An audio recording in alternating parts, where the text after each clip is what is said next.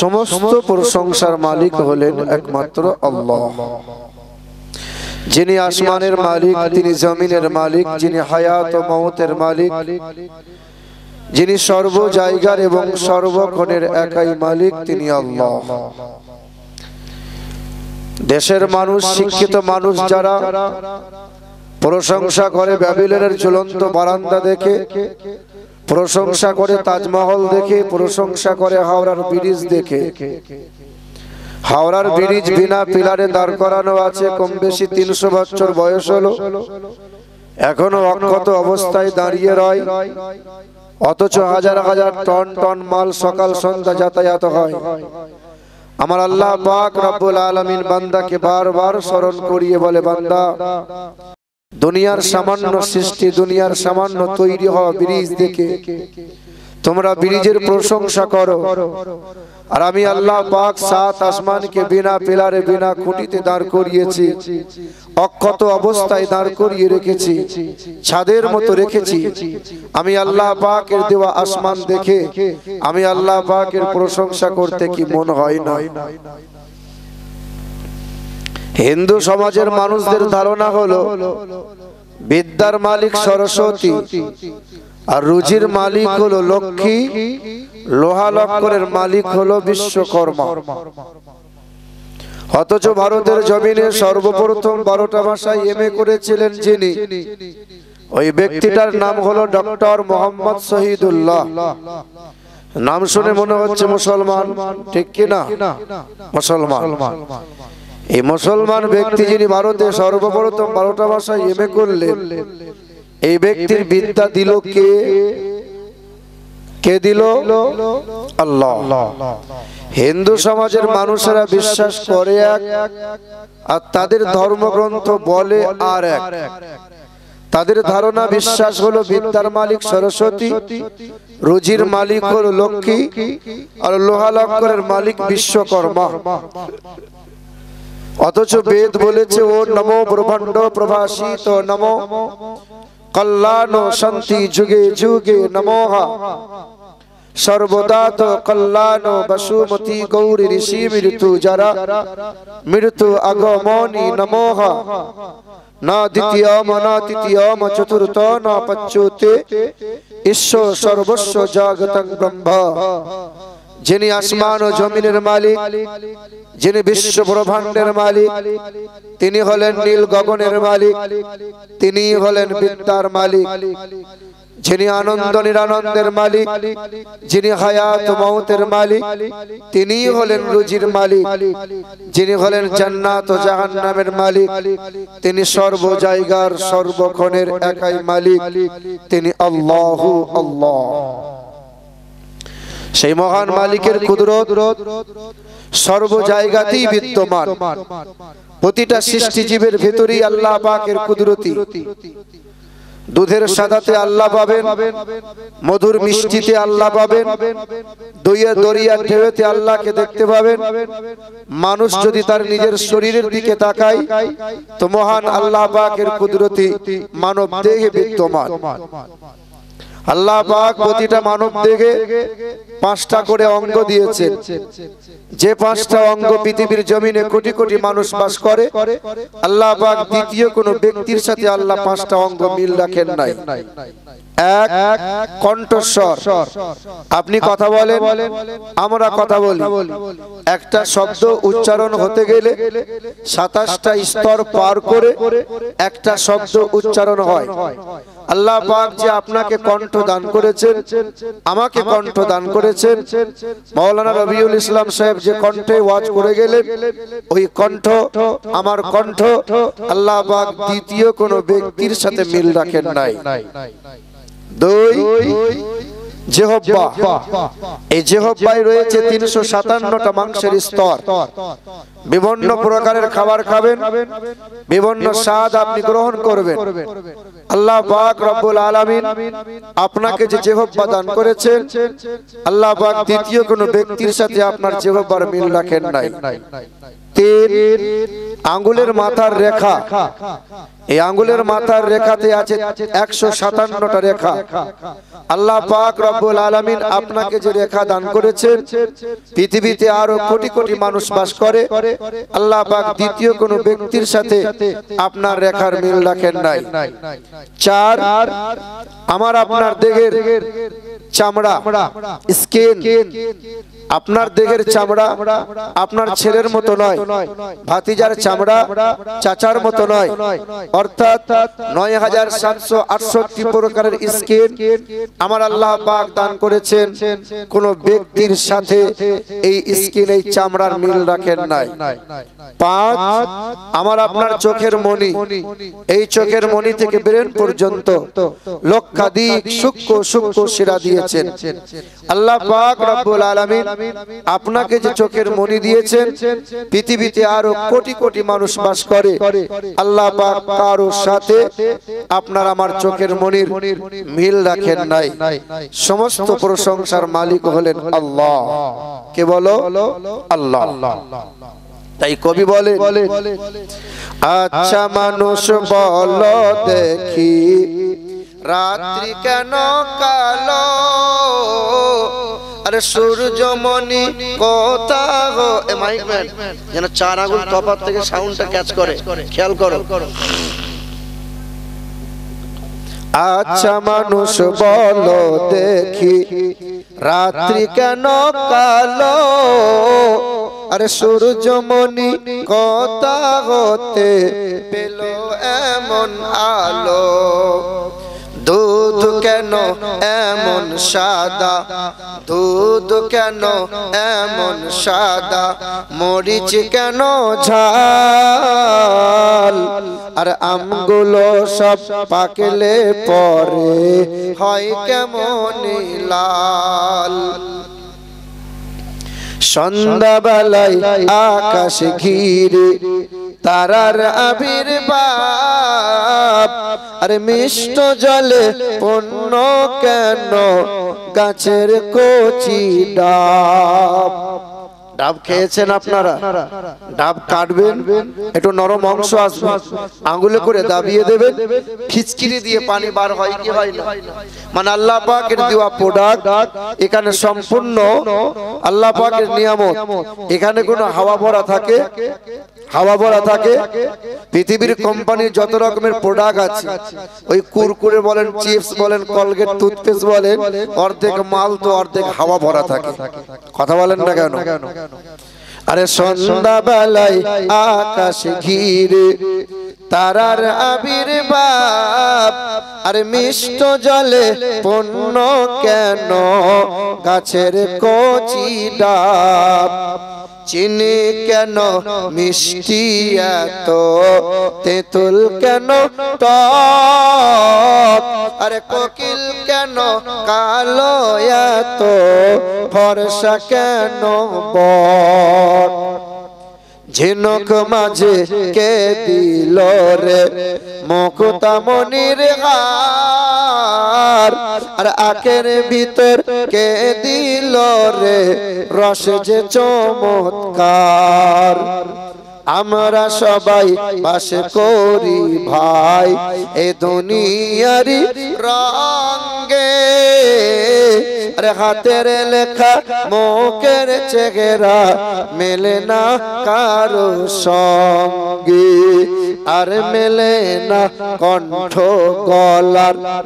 আর মেলে না কণ্ঠ গলার বুড়ো আঙুলের টিপ আরে আল্লাহ তালা আছেন একজন, প্রমাণ হল ঠিক, বলো লা ইলাহা।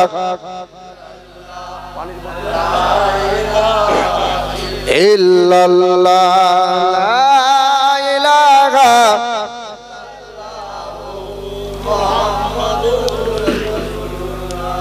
اللهم سيدنا مولانا محمد وعلى آله سيدنا صلى الله تعالى عليه وسلم. তারপরেই শতকোটি দরুদ আর সালাম। মক্কার মতি মদিনার জ্যোতি দুই কুলের সাথী উম্মতের কান্ডারি আমার আপনার নবী হায়াতুন নবী দু জাহানের বাদশাহ হাবিবে কিবরিয়া জনাবে মোহাম্মদ রাসূলুল্লাহ সাল্লাল্লাহু তাআলা আলাইহি ওয়াসাল্লাম। উপস্থিত জ্ঞানী, গুণী, সম্মানীয় ওলামাই কিরামগণ সম্মুখে বসে থাকা মুরব্বী মুরব্বী বাবাজিরা ভাইরা এবং পর্দার আড়ালে মা ও বোনেরা। যারা দাঁড়িয়ে আছেন, বসার একটু জায়গা হলে খুব ভালো হতো। কমিটির ছেলে যারা, আমার ভাইগুলোকে একটু বসার জায়গা করে দেন। আমার শিক্ষিত মুসলমান, আমার সুদী মানুষেরা, এই দেশের মাটিতে বাস করি আমরা। আমাদেরকে দেশের আইন মেনে চলা লাগবে আমাদেরকে দেশের আইন মেনে বলা লাগবে। কারণ দেশের পরিস্থিতি খুব খারাপ বাবা। আমরা মুসলমানরা সবসময় দেশের আইন সম্মান দিয়ে এসেছি। এইদিকে আমার দিকে তাকান। ওরা যখন মসজিদ ভেঙে মন্দির বানিয়েছে রাস্তায় দাঁড়িয়ে তখন আমরা পথ অবরোধ করি নাই রাস্তায় দাঁড়িয়ে আমরা আন্দোলন করি নাই রাস্তায় আমরা টায়ারও চালাই নাই। আমরা ভারতের আইনকে সম্মান দিয়েছি না দিই নাই। জেনে থাকবেন, চারশো বছরের মসজিদ পনেরোশো আঠাশ সালে তৈরি হয়েছিল। বাবরি মসজিদ উনিশশো বিরানব্বই এর ডিসেম্বরের ছয় তারিখে শহীদ করে দিল আর জানুয়ারির বাইশ তারিখে রাম মন্দির উদ্বোধন করে দিল। কম বেশি সবাই জানি আমরা। তার চার দিন পরে পরই ছত্রিশগড় রায়পুর গ্রামের একজন মৌলানা সাহেব, তার নাম ছিল মৌলানা আসগর আলী। মাদ্রাসায় ছেলেগুলোকে তালিম দিয়ে কোরআন হাদিস পড়িয়ে যখন বাড়ির দিকে রওনা দিয়েছিল, পথের মাঝে কিছু আর এস এস পন্থী কপালে তিলক কাটা ছিল, মুখে জয় শ্রীরামের ধ্বনি ছিল। তারা ছুটে এসে মৌলানাকে মারতে শুরু করল। এমন করে মেরেছিল মৌলানা ছুটে গিয়ে মাদ্রাসায় দরজা বন্ধ করে লুকিয়ে গেল। তারা দরজা ভেঙে মৌলানাকে টানতে টানতে ছেঁচড়াতে ছেঁচড়াতে মারতে মারতে নিয়ে গেল। থানার সামনে নিয়ে গিয়েছিল মৌলানা সাহেবের শরীর রক্তে রঞ্জিত হয়েছিল। সেদিন মৌলানা মনে মনে আশ্বাস হয়েছিল থানার সামনে পেয়েছি প্রশাসন সামনে এসে গেছে আর কেউ মারতে পারবে না।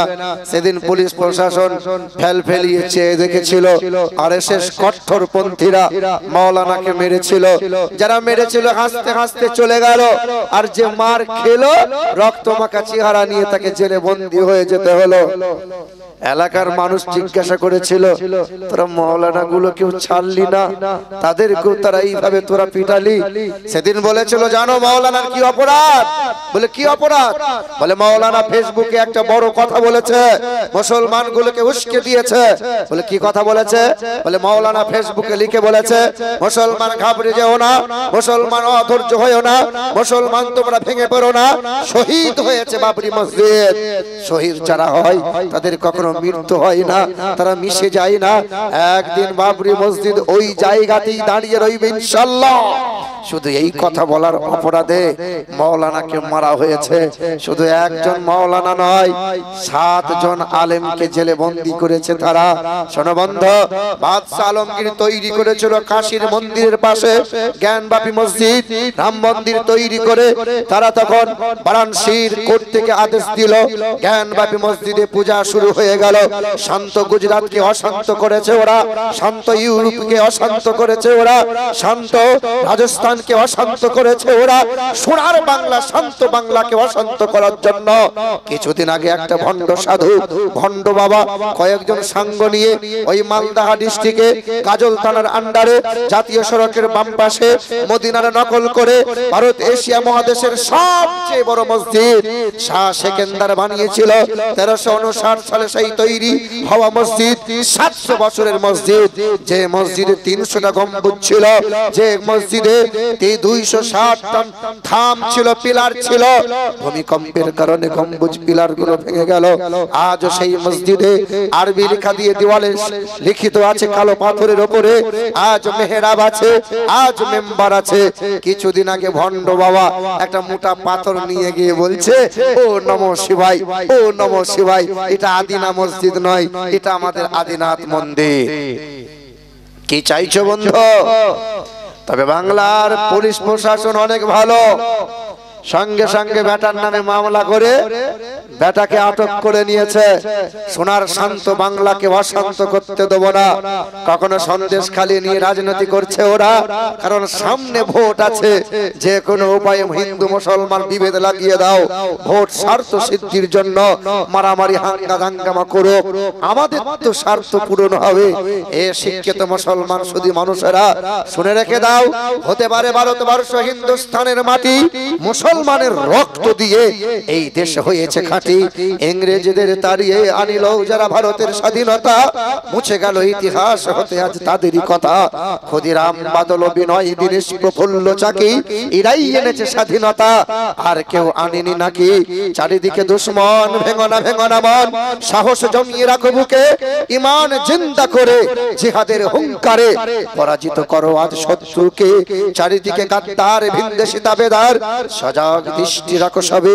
সকল মির্জাফর বিদেশি গোলাম চোর রুখতে তাদের আজ হবে। অনেক দামের দেশ রক্ত ঘামের দেশ মায়ার বাদন বড় বেশি হিন্দু মুসলমান বৈধ বা খ্রিস্টান আমরা সকলেই তো ভারতবাসী। কেন এত সংঘাত? কেন কিসের বিবাদ? ভাই ভাই রাখো হাত হাতে সমরে পক্ষপাতি হয়েছে ষষ্ঠ জাতি। নজির দেখাও আজ দুনিয়াতে।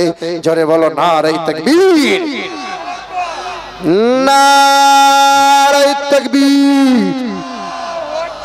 একটু হাতটা তুলে মহান মালিকের দরবারে একটু অঙ্গীকার করে বলি, ফিলিস্তিনের পক্ষে দাঁড়িয়ে বলি, ইসরায়েলের বিপক্ষে দাঁড়িয়ে বলি, মহান মালিকের ধ্বনি, নারায় রিসালাতের ধ্বনি দিয়ে বলি, নারায় তাকবীর।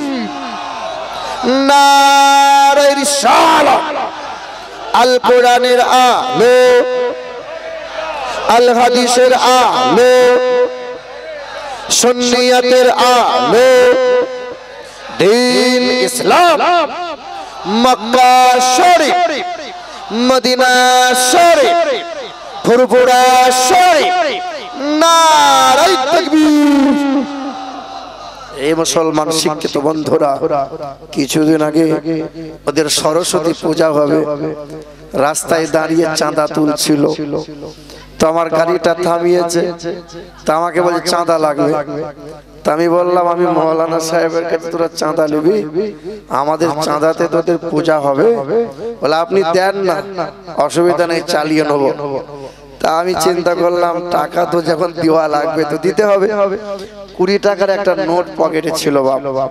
টাকাটা বার করে দেখছি রক্তের দাগ লাগা আছে মানে রক্তের ছাপ আছে। তা আমি চিন্তা করলাম রক্তটা হতেও তো গরুর রক্ত তো হতে পারে। ঠিক না বল বলেন? অনেক সময় কসাইরা কি করে? এই রক্ত মাখা হাতে আবার টাকা নিয়ে পকেটে গুজে রাখে। হ্যাঁ? টাকাতে রক্ত লেগে থাকে অনেক টাকা তা আমি বললাম হ্যাঁ রে খোকা এই টাকাতে না জানি গরুর রক্ত লেগে আছে বোধ এই টাকা তোরা নিবি? তো বলছে অসুবিধা নাই দেন না। আনো গঙ্গা জলে স্নান করে পাপ মুক্ত হস্তরা আর টাকাতে যদি গরুর রক্ত লেগে থাকে কোন গঙ্গা জল দিয়ে ধুবি বাবা? তা হিন্দু ঘরের যুবকগুলো বলছে, অসুবিধা নাই, দেন না। এ শিক্ষিত মুসলমান সুদী মানুষেরা, জাতি, ধর্ম, দলমত নির্বিশেষে আমি এটাই বলতে চাই, এই দেশের মাটিতে মুসলমানের টাকাতে দুর্গা পুজো হয়, এই দেশের মাটিতে মুসলমানের চাঁদা নিয়ে সরস্বতী পূজা হয়, আর চায়ের দোকানে বসে বসে ওই বেটা আবার হিন্দু মুসলমান হিন্দু মুসলমান বিভেদ তৈরি করে নেয়। শোনো, এই দেশের মাটিতে যত অবদান আমাদের আছে এই রকম অবদান কোন মায়ের লালের নাই। ঠিক না ভুল বলেন? তারপরেও আমরা সম্প্রীতি আর ভালোবাসা ভ্রাতৃত্ব বজায় রাখতে চাই। হ্যাঁ? আমাদের মসজিদ ভেঙেছে ওরা। আচ্ছা জীবনে কোনোদিন আজ পর্যন্ত শুনেছেন? কোন মুসলমান মন্দিরে গিয়ে বলেছে নারাই তকবীর শুনেছেন? কিন্তু ইতিহাস সাক্ষ্য আছে। ওরা মসজিদ, মাদ্রাসার মৌলানা দেখলে পরে জয় শ্রীরাম কতবার বলেছে। এই দেশের মাটিতে যত ধর্ম আছে প্রতিটা ধর্মের ধর্মগ্রন্থ আছে। বাইবেল আছে জান্দাবাস্তা রামায়ণ আছে মহাভারত আছে যজুর্বেদ আছে ঋক আছে শ্যাম আছে অথর্ব আছে কলকি পুরাণ আছে মনুসংগীতা আছে। আজ পর্যন্ত কোনোদিন শুনেছেন যে বাইবেলের বিরুদ্ধে কেউ কথা বলেছে? জান্দাবাস্তার বিরুদ্ধে কেউ কথা বলেছে? কারও বিরুদ্ধে কেউ কথা বলে না। শুধু মুসলমানদের বিরুদ্ধে কথা বলে। কোরআনের বিরুদ্ধে কথা বলে, মসজিদ, মাদ্রাসার বিরুদ্ধে কথা বলে। কেন? ওরা জেনে গেছে, যে গাছের ফল টক হয়, ওই গাছে কেউ ঢিল পাথর মারে না। যে গাছের ফলটা মিষ্টি হয় ঢিল পাথর একটু বেশি পড়ে। জানে ইসলাম ধর্মটা মিষ্টি ধর্ম সত্য ধর্ম। একদিন এই ইসলাম ধর্ম পৃথিবীর কোনায় কোনায় পৌঁছে যাবে আর গোটা বিশ্ব জাহানটা মুসলমানটা জয় করবে বলে সুবহানাল্লাহ। এই আমার শিক্ষিত বাবা যেটা ভাইয়ের আমার। কিন্তু মানুষগুলো দাঁড়িয়ে আছে আমার একটু কষ্ট হচ্ছে। একটু বসার সুযোগ হলো না? চা চা চা। ভাইজান একটু চায়ের ব্যবস্থা করেন তো। লাল চা। হ্যাঁ, একটু আগে আগে আসেন না আব্বা একটু আগে আগে আসেন না। একটু আগিয়ে চলে আসেন না আব্বা। আসেন জিকির করি লা ইলাহা। আগে আসেন। এই যে বলো লা ইলাহা। ইল্লাল্লাহ লা ইলাহা ইল্লাল্লাহু মুহাম্মাদুর রাসূলুল্লাহ আল্লাহুম্মা মধ্যখানে জায়গা ফাঁকা জাগি আসেন وعلى آله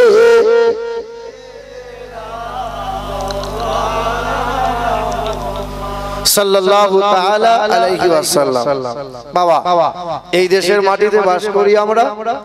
দেশের আইন যেমন মানা লাগে তো গরু ছাগলও এই দেশে বাস করে। গরু ছাগলকে দেশের আইন মানতে হয়।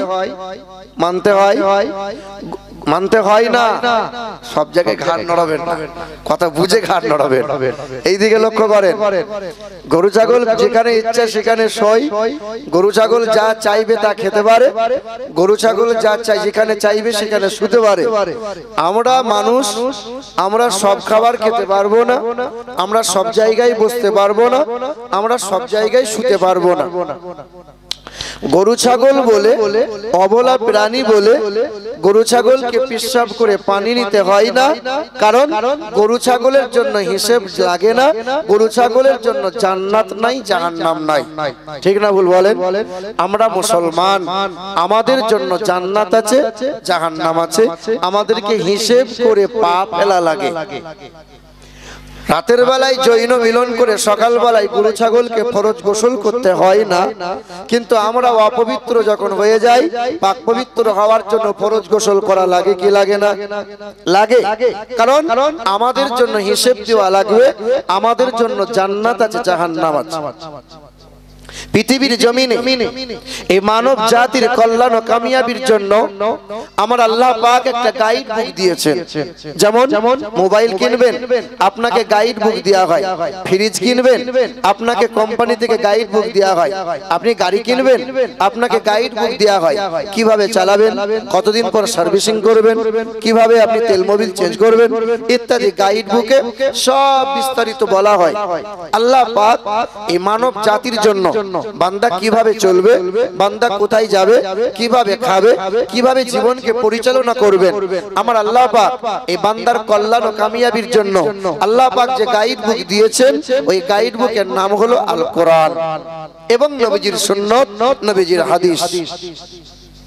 বাবাজি রাবাই রাবা পৃথিবীর জমিনে আমার আল্লাহ পাক দয়া রসুল সাল্লাল্লাহু তাআলা আলাইহি ওয়াসাল্লাম, তিনি এসেছেন বিশ্বের মহান নেতা, বিশ্বের মহাবৈজ্ঞানিক। শুনে রেখে দেন, গৌতম বুদ্ধ বিখ্যাত একজন ঋষি ছিলেন। গৌতম বুদ্ধকে একজন তার শিষ্য জিজ্ঞাসা করেছিলেন যে হে গুরুদেব আপনি এখন হায়াতে আছেন মানে বেঁচে আছেন তাই আপনাকে আমরা আপনার কথাগুলো শুনি। আপনি যখন বেঁচে থাকবেন না যখন চামড়ার চোখ থেকে আড়াল হয়ে যাবেন তো কাকে আমরা ধরবো? কার কথাগুলো শুনব? সেদিন গৌতম বুদ্ধ উঠে দাঁড়িয়ে বলেছিলেন I am not first Buddha who came in দায়াত পৃথিবীর জমিনে পৃথিবীর জমিনে আমি প্রথম পুত্র নয়। আমি প্রথম বুদ্ধ নয় in on time another Buddha in the world বিশ্বের জমিনে একজন যথা সময়ে বুদ্ধ আসবেন। এ হলি ওয়ান তিনি অত্যন্ত পবিত্র হবেন। এ সুপ্রিমলি ইলাইট্রেন তিনি অধিক আলোকপ্রাপ্ত হবেন। শিষ্যরা জিজ্ঞাসা করেছিলেন হে আমাদের গুরুদেব হে গৌতম বুদ্ধ সেই ব্যক্তিকে চিনব কি করে? সেই বুদ্ধকে জানব কি করে? তখন গৌতম বুদ্ধ বলেছিলেন যে হিন্দু ধর্মগ্রন্থের শ্যামবেদের দ্বিতীয় নম্বর অধ্যায়ের একাত্তর নম্বর মন্ত্রে একটি কথা বলা আছে। সেই বুদ্ধর পরিচয়ের কথা বলা আছে। সেখানে বলা আছে উপস্রোত নামে নরসংসা ভবিষ্যতে দ্বাদশং সকল মাধবে মাসি মাধবম জাতং দত্তা সাতু পুতরং মনুষ্য সম্ভালে বিষ্ণু গৃহে পাদুর্ববম মহম। সুমতং বিষ্ণু যশাস গর্ভমদত্ত বৈষ্ণবম। কলকি পুরাণে কথা বলা আছে? দ্বিতীয় নম্বর অধ্যায় এগারো নম্বর শ্লোক। দ্বিতীয় নম্বর অধ্যায় পঁচিশ নম্বর শ্লোকে বলা আছে যে পৃথিবীর জমিনে একজন বুদ্ধ জগৎ গুরু আসবেন। তিনি আসবেন মাধব মাসের দ্বাদশ তিথিতে। যেমন আমার নবী এসেছেন রবিউল আউ্বালের বারো তারিখে সোমবারের দিনে শুভ সাদিকে। যিনি আসবেন সাম্বালা শহরে। সাম্বালাকে আরবিতে বলা হয় দারুল আমান। আর বাংলায় বলা হয় শান্তিময় শহর। যিনি আসবেন পৃথিবীর উচ্চ গোত্রে। হিন্দুদের গোত্র হয়। কারও গোত্র সান্ডিল্য, কারও গোত্র মধুকল্য কারও গোত্র মধুঋষি কারও গোত্র কাশ্যপ্য কিন্তু পৃথিবীর জমিনে সবচেয়ে বড় গোত্র, ওই গোত্রের নাম হলো হাসিম গোত্র। তার বাবার নাম হবে বিষ্ণু যশা। তার বাংলা করলে হবে আল্লাহর বান্দা। যার আরবি করলে হবে আব্দুল্লাহ। তার মায়ের নাম হবে সুমতি তার বাংলা করলে হবে সুন্দর মন যার আরবি করলে হবে আমিনা যার বাবার নাম হবে আব্দুল্লাহ তার মায়ের নাম হবে আমিনা তার দাদার নাম হবে আব্দুল মুতাল্লিব তার দাদির নাম হবে নাতিজা বিনতে খাপ্পাব ব্র্যাকেটে ফাতেমা নানার নাম হবে আব্দুল ওহাব জুহুরি তার নানির নাম হবে বারিরা তার দুধ বাবার নাম হবে হারেস তার দুধ মায়ের নাম হবে হালিমা তার দুধ ভাইয়ের নাম হবে আব্দুল্লাহ তার পিতার নাম হবে আব্দুল্লাহ তিনি হবেন জগৎ গুরু বিশ্বের মহান নেতা জনাবে মোহাম্মদ রসুল্লাহ সাল্লাল্লাহু তাআলা আলাইহি ওয়াসাল্লাম। বাবাজিরা, ভাইরা, পৃথিবীর জমিনে যত নবী পায়গাম্বার এসেছেন, প্রতিটা নবী পায়গাম্বারের নবুয়ত এবং রিসালাতের সত্যতা স্বরূপ আল্লাহ পাক প্রতিজন নবীকে মুজিজা দিয়েছিলেন, মুজিজা। আমার আপনার নবী এসেছেন শত মোজেজা দিয়েছিলেন। আর আমার আপনার নবীজি সর্বশ্রেষ্ঠ মোজেজা ছিল আল কোরআন কি ছিল? আল কোরআন আল্লাহ পাক মুসা নবীকে পৃথিবীতে পাঠালেন। আল্লাহ মুসা নবীকে মোজেজা দিলেন। মুসা নবী আলাইহিস সালাতু ওয়াস সালামের হাতের লাঠি যখন ছেড়ে দিতেন সঙ্গে সঙ্গে লাঠিটা সাফ হয়ে যেত। আল্লাহ পাকের নবী মুসা পৃথিবীর জমিনে নাই। তিনি বিদায় নিয়েছেন। আল্লাহ পাকের নবী মুসা আলাইহিস সালাতু সালামের সেই লাঠিটা এখনও মিশরের লাইব্রেরিতে রাখা আছে। পৃথিবীর জমিনে কোনো ব্যক্তি যদি ওই লাঠিটা আজ ছেড়ে দেয় আর কি লাঠিটা সাপ হবে? সাপ হবে? আর হবে না। কারণ মোসা নবী পৃথিবীতে নাই তার মোজেজাগুলো পৃথিবীতে নাই। আল্লাহ পাক দাউদ নবীকে পাঠিয়েছিলেন। দাউদ নবী আলাইহিস সালাতু ওয়াস সালাম তিনি লোহা ধরতেন লোহা অটোমেটিক গলে যেত। দাউদ নবীকে আল্লাহ এত সুন্দর কণ্ঠ দিয়েছিলেন যে মধুর কণ্ঠে তিনি যখন জাবুর কিতাব তেলাওয়াত করতেন আকাশের উড়ন্ত জিন পরীরা জঙ্গলে লুকায়িত জিন পরীরা দলবদ্ধ হয়ে দাউদ নবীর কণ্ঠের তেলাওয়াত শোনার জন্য ঝাঁকে ঝাঁকে বসে যেত। জাবর কিতাব এখনও পৃথিবীতে আছে। দাউদ নবী আর নাই। আজ কোন ব্যক্তি যদি জাবর কিতাব মধুর কণ্ঠে পড়ে আর কি জল জঙ্গলে লুকায়িত জিন আর আকাশের উড়ন্ত জিনগুলো কি এসে আর ঝাঁকে ঝাঁকে বসে শুনবে? আর শুনবে না। কারণ দাউদ নবী পৃথিবীতে নাই তার মজেজাগুলো নাই। আল্লাহ পাকের নবী সুলাইমান আলাইহিস সালাতু ওয়াস সালাম দাউদ নবীর পুত্র সুলাইমান সুলাইমান নবীকে আল্লাহ পাক জিনগুলোকে আয়াত্ত করে দিয়েছিলেন। এমন মজেজা পাখির ভাষা বুঝতে পারতেন, তামাম পিপিলিকার ভাষা বুঝতে পারতেন। সুলাইমান নবী যে সিংহাসনে তেরো বছর বয়সে বসেছিলেন, তেরো বছর বয়সে সিংহাসন লাভ করেছেন। সুলাইমান নবী আলাইহিস সালাতু ওয়াস সালাম ওই সিংহাসনে যখন তিনি বসে যেতেন, বাতাসের মাধ্যমে, বিনা ইঞ্জিনে, এক চোখের পলকে এক মাসের রাস্তা অতিক্রম করে যেত বলে, সুবহানাল্লাহ। সিংহাসন এখনও আছে, সুলাইমান নবী নাই। তার সিংহাসন যদি কোনো পালোয়ান চালাতে চায়, উড়াতে চায়, আর কি কারও দ্বারা সম্ভব? সম্ভব নয়। কারণ সুলাইমান নবী নাই, তার মজেজাগুলো নাই। আল্লাহ পাকের নবী ঈসা রুহুল্লাহ আলাইহিস সালাতু ওয়াস সালাম ঈসা নবীকে আল্লাহ মুজিজা দিয়েছিলেন মৃত্যু মানুষের গায়ে হাত বোলাতেন সঙ্গে সঙ্গে মৃত্যু মানুষ আল্লাহর হুকুমে চিন্তা হয়ে যেত। ঈসা নবীর অনুসারী আছে, খ্রিস্টান বলে দাবিদার যারা।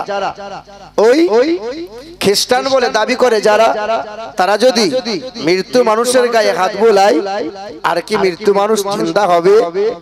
ঈসা নবীকে আল্লাহ পৃথিবী থেকে উঠিয়ে নিয়েছেন। ঈসা নবী নাই, তার মোজেজাগুলো নাই। আমার আপনার প্রাণ প্রিয় রহমাত আলামিন আমাদের চর্মচোখ থেকে আড়াল হয়েছে তার মজেজাগুলো কি হারিয়ে গেছে? আল কোরআন কি হারিয়ে গেছে? পৃথিবীর শুনে রেখে দেন। মসজিদ ভেঙে মন্দির বানাবে তোমরা। মাদ্রাসাগুলোকে গুড়িয়ে দেবে, মাজারগুলোকে ভেঙে দেবে, বস্তায় বস্তায় কোরআন ভরে নদীতে ভাসিয়ে দেবে, বস্তায় কোরআন ভরে তোমরা আগুনে জ্বালিয়ে দেবে।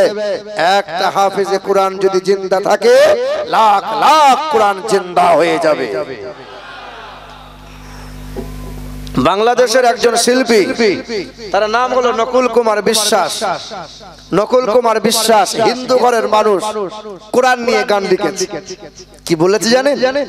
যদি আগুন লেগে যদি আগুন লেগে ধ্বংস হয় পৃথিবীর সব বইয়ের দোকান। তবু বিশ্ব থেকে হারাবে না পবিত্র কোরআন। যদি আগুন লেগে যদি আগুন লেগে ধ্বংস হয় পৃথিবীর সব বইয়ের দোকান। তবু বিশ্ব থেকে হারাবে না পবিত্র কোরআন। বলো কেমন করে করবে ধ্বংস? তোমার আগুনের আরে বিশ্বে ভরা লক্ষ লক্ষ আছে কোরআনের হাফেজ। আমার বাবা ধরবেন? পরে নো বাবা এইদিকে লক্ষ্য করে আল্লাহ পাকের নবী সর্বশ্রেষ্ঠ নবীজির মজেজা হলো আল কোরআন আল্লাহ পাক রব্বুল আলামিন জানিয়ে দিলেন হে পৃথিবীর মানুষেরা এই কোরআনকে সাধারণ কোনো কিতাব মনে করো না। এটা কোনো বৈজ্ঞানিকের বিজ্ঞান নয়, এটা কোনো ঐতিহাসিকের ইতিহাস নয়, এটা কোনো ভৌগোলিকের ভূগোল নয়। আমি আল্লাহ পাক রব্বুল আলামিন জানিয়ে দিই, পারা নম্বর 19 সূরার নাম সূরা শুআরা আয়াত নম্বর 92 পৃষ্ঠা নম্বর 14 লাইন নম্বর 6 আল্লাহ পাক জগতের মানুষকে জানিয়ে দেয়, ওয়া ইন্নাহু লাতানজিলু রাব্বুল আলামিন ইহা হলো আমি মহান মালিকের কালাম। إنا عرضنا الأمانة على السماوات والأرض والجبال فأبين أن يحملناها وأشفقن منها وحملها الإنسان কোরআন শরীফের পারা নম্বর বাইশ, সুরার নাম সুরা আহজাব, আয়াত নম্বর বাহাত্তর, পৃষ্ঠা নম্বর ছয়, লাইন নম্বর বারো। আমার আল্লাহ জগতের মানুষকে জানিয়ে দিল, এ দুনিয়ার মানুষেরা কান খাড়া করে শোনো, আমি আল্লাহ পাকের মহা আমানত হলো আল কোরআন কন্যা যেমন পিতার কাছে আমানত ছেলে যেমন বাবার কাছে আমানত বিবি যেমন স্বামীর কাছে আমানত অন্ধ ব্যক্তিটা চোখওয়ালার কাছে আমানত সুস্থ মানুষের কাছে অসুস্থ মানুষটা আমানত। আমি মহান মালিকের দরবারে আমার মহা আমানত হলো আল কোরআন। আমি আল্লাহ পাকের আমানতটা আসমানকে বলেছিলাম জমিনকে বলেছিলাম পাহাড় পর্বতকে বলেছিলাম। আমার এই আমানতের দায়িত্ব নিতে হবে। আসমান বলেছিল জমিন বলেছিল পাহাড় পর্বত বলেছিল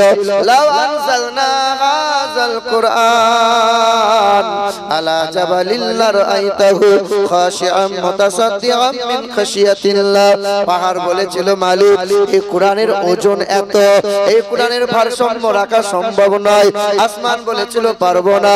তোমার আমানতের দায়িত্ব নিতে পারব না। জমিন বলেছিল, পারব না।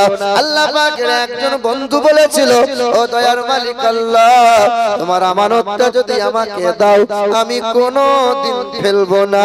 বিমানুজ্জিলা আলা মুহাম্মাদিন ওয়া হুয়াল হাক্কু মির রাব্বিহিম।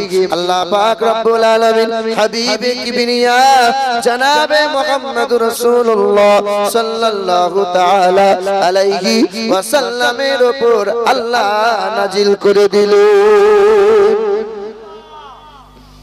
আল্লাহ পাক শুরুতে জানিয়ে দিলেন জালিকাল কিতাব লা রাইবা ফি। ইহা সেই কোরআন যেখানে কোনো দুর্বলতা নাই যাতে কোনো সন্দেহ নাই যাতে কোনো ত্রুটি নাই। এ মুসলমানের ছেলেরা এ নওজোয়ান যুবকেরা এই সেই কোরআন ইদুল্লু বিহি কাসীরা বিহি কাসীরা যে কোরআন পড়ে কত মানুষ আল্লাহ পেল এই কোরআন পড়ে বহু মানুষ ইমানদার হলো এই কোরআন পড়ে কত বৈজ্ঞানিকেরা কালেমা পড়ে নিল এই কোরআন পড়ে কত বামুনেরা আল্লাহর অলি হয়ে গেল আবার এই কোরআন পড়ে নিজের স্বার্থ সিদ্ধির জন্য কত কত জনেরা ইমান বিক্রি করে দিল। কত হুজুর আছে, কত বড় বড় পাগড়ি পরনেওয়ালা, বড় বড় পাগড়ি জুব্বা বড় বড় টুপি পরনেওয়ালা, কত নামি দামি বক্তা। এখন তো আমার বাবা জীবন বলছিলেন, কাউরির বিরুদ্ধে বলার দরকার নাই। কিন্তু ইসলামকে ধ্বংস করছে মূল টুপিওয়ালা, দাড়িওয়ালারা, এই আলে মোলামারা এই আলে মোলামারা ইসলামকে শেষ করে দিচ্ছে। ও বেরেলি, ও সুন্নি, ও ফুরফুরা, ও তবলিগি, ও অমক, ও তমক। আবার একটা দল বেরিয়েছে, হাত, এইখানে হাত বাঁধছে বাবা। হাত ঝাড়া মাল। ওরা বলছে, আমরা আহলে হাদিস ব- বলতে মানা করেছে, বলব কিনা তাই ভাবছি।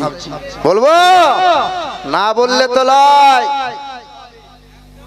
সারা জীবন তো ওয়াজ শুনছো বাবা ইমান আর আকিদা যদি সহি না হয়, কোথায় যাবে? শোনবন্ধ পশ্চিম বাংলার মাটিতে এবং বাংলাদেশের মাটিতে বেশ কিছু বক্তার বক্তব্য শুনে বহু মানুষের ইমান হারা হয়ে যাচ্ছে। বহু মানুষ পথ হারা হয়ে যাচ্ছে। কালকে হাত এইখানে বাঁধছিল মাল দেখি হাত এইখানে বাঁধছে মানে কপালে হাত বাঁধ। এখানে হাত বাঁধছিস কেন? হ্যাঁ। ওরা বলছে আবার মিনহা খালাকনাকুম ওয়া ফিহা নুঈদুকুম ওয়া মিনহা নুখরিজুকুম তারাতান উখরা। এই দোয়া বলে মাটি দেওয়া যাবে না হারাম। আবার একদল ওরাই বলছে, হাত তুলে মোনাজাত করা চলবে না। কদিন আগে একটা বিবাহ অনুষ্ঠানে বিয়ে পড়াচ্ছি যে শেষ বেলায় খুদবা পড়িয়ে দরুশ্বরী পড়িয়ে বললাম, বাবা, একটু হাত তোলো, মোনাজাত হবে। পাত্র পাত্রীর জন্য একটু মাগফিরাতে দোয়া করব। তো টুক করে একটা মাল বলছে সব বেদাত, হাত তুলে মোনাজাত করা যাবে না। বাড়ি কোথায়? তো বলছে বরযাত্রী এসেছি। বাহ কতজন এসেছ বাবা? বলে দুশো বরযাত্রী এসেছি। আনো বাবা। তোমার হুজুরের কাছে তুমি হাত তুলে মোনাজাত করা যাবে না এই হাদিস খুঁজে খুঁজে পেয়েছ। আর হুজুরের কাছে এটা জিজ্ঞাসা করো নাই যে একশো দুশো বরযাত্রী নিয়ে মেয়ের বাপের গলায় বাঁশ দিয়ে গলা পর্যন্ত গলা ডুবিয়ে খাওয়া। এটা কোন হাদিসে পেয়েছ বাবা?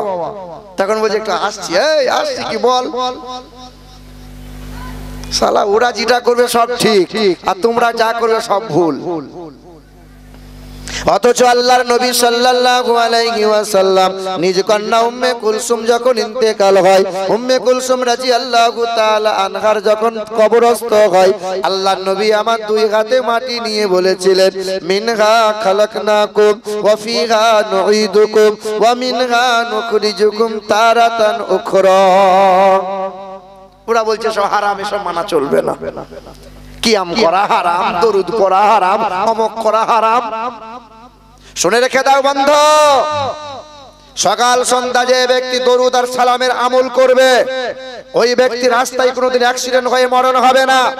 যে ব্যক্তি সকাল আর সন্ধ্যায় দরুদ শরীফের আমল করে, ওই ব্যক্তি নদীতে দরিয়ায় ডুবে কখনো মরণ হবে না। যে ব্যক্তি সকাল আর সন্ধ্যায় দরুদ শরীফের আমল করবে, ওই ব্যক্তি আগুনে পুড়ে কখনো মরণ হবে না। যে ব্যক্তি সকাল আর সন্ধ্যায় দরুদ আর সালামের আমল করবে, ওই ব্যক্তি সংসারের ঋণ আর অভাব কোনোদিন আসবে না। যে ব্যক্তি সকাল সন্ধ্যা দরুদ শরীফের আমল করবে, ওই ব্যক্তির রুজিতে আল্লাহ বরকতে মালামাল করে দেবে। যে ব্যক্তি সকাল, সন্ধ্যা দরুদ শরীফের আমল করবে, তাকে বিছানায় পড়ে থাকতে হবে না। যে ব্যক্তি দরুদ শরীফের আমল করে, তার মৃত্যুর সময় কালে মানসিব হয়ে যাবে। আল্লাহর নবী বলেন, একবার দরুদ পড়ো, একবার দরুদ পড়ো, একবার নবীজিকে সালাম জানাও। আল্লাহ দশটা গুণা মাফ করে দেবে, দশটা আমল নামায় লিখে লিখে দেবে, দশ গুণ মর্তবা আমার আল্লাহ তোমার বাড়িয়ে দেবে। আমার শিক্ষিত মুসলমান শুধু মানুষেরা। দলবাজি করা বন্ধ করো। আমার বাবাজিরা, ভাইরাই আমার। এটা হলো সেই কোরআন। যে কোরআন পরে বহু শত বৈজ্ঞানিকেরা কালেমা পড়ে ইমানদার হয়ে গেছে, কত বৈজ্ঞানিকেরা আল্লাহর অলি হয়েছে, কত বামুনেরা কাল দুর্গা পূজা করেছিল, আজ সেই ব্যক্তিটা আল্লাহর অলি হয়েছে, ইতিহাস সাক্ষ্য দেয়। এ মুসলমানের ছেলেরা, ফ্রান্সের বিখ্যাত স্পেশালিস্ট মমির সার্জেন, তার নাম হলো ডক্টর মরিজ বুকাইলি। ওই মানুষটা মিশর ইসলামিক কনফারেন্সে হাজির হয়েছিল। একজন আলেম বক্তব্য রাখছিল। কোরআন নিয়ে বক্তব্য রাখতে রাখতে বলছিল, কোরআনে কোনো ভুল নাই, কোরআনে কোনো ত্রুটি নাই। সঙ্গে সঙ্গে এই ডক্টর মরিচ বুকাইলি মুচকি হাসি হেসেছিল। সাংবাদিকরা প্রশ্ন করেছিল, স্যার, আপনি হাসছেন কেন? বলে বাইবেলে কোনো ভুল ছিল না, দাবি করেছিল ওরা। বাইবেলে ভুল বার করেছি আমি। জন্দাবাস্তা ত্রিপিটকে ভুল বার করেছি আমি। রামায়ণ মহাভারতে ভুল বার করেছি আমি। আমি ডক্টর মরিজ বুকাইলি বলে দিই। আলেম ওলামারা বক্তব্য দেয়, কোরআনে কোনো ভুল নাই। আমি ভুল বার করে ছাড়ব। জোরে বলো। নাউজিবিল্লাহ। কোরআনের ভুল বার করবে। মুসলমান বাবারা ভাইরাই আমার। হালকা আর একটু ফ্যানটা দিকে দেন। সামান্য। এ, সোনার টুকরো বন্ধুর, আমার সুধী মানুষেরা। ওই আপনার খ্রিস্টান ধর্মের অনুসারী, ডক্টর মরিজ বুকাইলি কি করেছিল? কোরআন পড়া জানতো না, আরবি পড়া শিখে নিল, আরবি পড়া শিখে নিল, বৃদ্ধ বয়সে আরবি পড়া শিখলো। আমরা তো মুসলমান, চল্লিশ বছর ধরে নামাজ পড়ি, চারটে সুরা নিয়ে চল্লিশ বছর চলে, এখনও পাঁচটা সুরা হলো না। হ্যাঁ আবার কিছু কিছু মুরব্বী বলে, বাবা, দাঁত ভেঙে গেছে বাবা আর চলে না বাবা। ওই চারটেই চলছে বাবা। আজ কুড়ি বছর হলো। কতদিন চলবে বাহানা দিয়ে বাবা? হ্যাঁ মুসলমানের ছেলেরা, বিখ্যাত এখানে ডাক্তার মরিজ বুকাইলি, মমির স্পেশালিস্ট বিখ্যাত সার্জেন। কোরআন বলা শিখলো উনিশশো আশি সালে। ওই মানুষটা কোরআন রিসার্চ করতে লাগল। সুরা ফাতেহা থেকে অনুবাদ করে ব্যাখ্যা করে সানি নজুলগুলো দেখে, পড়তে পড়তে সুরা পর্যন্ত করে বারবার পরে এক বছর নয়, দুই বছর নয়, পাঁচ বছর কোরআনটা রিসার্চ করল। কোরআনটা রিসার্চ করার পরে সাংবাদিক সম্মিলনে দাঁড়িয়ে গেল সাংবাদিকরা জিজ্ঞাসা করেছিল, স্যার, আপনি তো কোরআনের ভুল বার করবে বলেছিলেন, কোন জায়গায় ভুল পেলেন? ওই দিন ডক্টর মরিজ বুকাইলি বলে বলেছিল, বাইবেলে ভুল পেয়েছিলাম, জান্দাবাস্তায় ভুলবার করেছি, ত্রিবিটকে ভুলবার করেছি, কোরআনে ভুলবার করতে চেয়েছিলাম। আল্লাহর কসম করে বলি, এটা এমন একটা কিতাব। এই কোরআন পড়ে আল্লাহর নৈকট্য পেলাম, কোরআন পড়ে আল্লাহকে খুঁজে পেলাম, কোরআন পরে নবী মোহাম্মদের দিদার, নবী মোহাম্মদের আদর্শ ফলো করতে পারলাম, এই কোরআন পরে জানতে পারলাম, পৃথিবীর জমিনে এমন ধর্মগ্রন্থ আল কোরআন, আর দুইটা নাই সঙ্গে সঙ্গে মরিচ বুকাইলি উনিশশো পঁচাশি সালে সাংবাদিক সম্মেলনে দাঁড়িয়ে কোরআন বুকে নিয়ে একবার চুমা দেয়, একবার বুকে নেয়। কালমা ইলা ইলাহা ইল্লাল্লাহু মুহাম্মাদুর রাসূলুল্লাহ। কালেমা পড়ে ইমানদার হয়ে গেল। নামটা পাল্টে দিয়ে নাম রেখে দিল সুলাইমান। এ বাবাজিরা ভাইরাই আমার। কোরআন তো আমরা শিখলাম না। কোরআন আল্লাহ একশো দিয়েছেন। কোন সুরার নাম বাকারা, কোন সুরার নাম মৌমাছি, কোন সুরার নাম মাকড়সা, কোন সুরার নাম দিয়েছেন আল্লাহ। সুরার আপনার নাম দিয়েছেন সুরা পিপিলিকা। সুরার নাম পিপিলিকা, সুরার নাম মৌমাছি, সুরার নাম মাকড়সা। নাম শুনেছেন আপনারা? হে মুসলমান, সোনার টুকরো বন্ধুরা, আল্লাহ পাক এটাই বান্দাকে বুঝাতে চেয়েছেন। এক আল্লাহকে যদি দেখতে চাও, প্রতিটা সৃষ্টি জীবকে দেখো, চিন্তা করো, এক আল্লাহর কুদরতি বিদ্যমান, আল্লাহ পাক রব্বুল আলামিন জানিয়ে দেন, পারা নম্বর 14 পৃষ্ঠা নম্বর 13 লাইন নম্বর 6 সন্দেহ হলে বাম দিকের পৃষ্ঠায় আছে, নজর মেরে দেখতে হয়, সুম্মা কুলি মিন কুল্লিস সামারাত, ফাসলুকি সুবুলা রব্বিকি জুলালা, ইয়াখরুজু মিন বুতুনিহা শারাবুম মুখতালিফুন আলওয়ানুহু, ফিহি শিফাউল লিন্নাস। এ দুনিয়ার মানুষেরা, মৌমাছির দিকে লক্ষ্য করে দেখো। মৌমাছি, আমি আল্লাহর জিকির করা বন্ধ কোনো দিন করে না। মৌমাছি, আমি আল্লাহ জিকির করতে করতে ডানা মেলে উড়ে যায়। নবীর দরুদ পড়তে পড়তে ফুলের রস সংগ্রহ করে নেয় আর আমি আল্লাহ পাক জানিয়ে দিই, উচ্চ পর্বতে ঘর বানাও, কাছের ডালে ঘর বানাও, উচ্চ শিখরে ঘর বানাও, আর মৌমাছির ভিতরে নির্গত পানি আমি মানব জাতির জন্য দিয়েছি শিফা। মধুর দিকে লক্ষ্য করো, মৌমাছিকে বান্দা চিন্তা করো, এক আল্লাহ খুঁজে পাবে। আল্লাহ কুড়ি পড়াতে সুরা দিয়েছেন, সুরার নাম সুরা মাকড়সা, সুরার নাম সুরা আনকাবুত। আনকাবুতে একচল্লিশ নম্বর আয়াত। বিশ নম্বর পাড়ার বিশ নম্বর পৃষ্ঠার দশ নম্বর লাইনে আল্লাহ পাক জানিয়েছেন এ দুনিয়ার মানুষেরা মাকড়সার দিকে লক্ষ্য করো।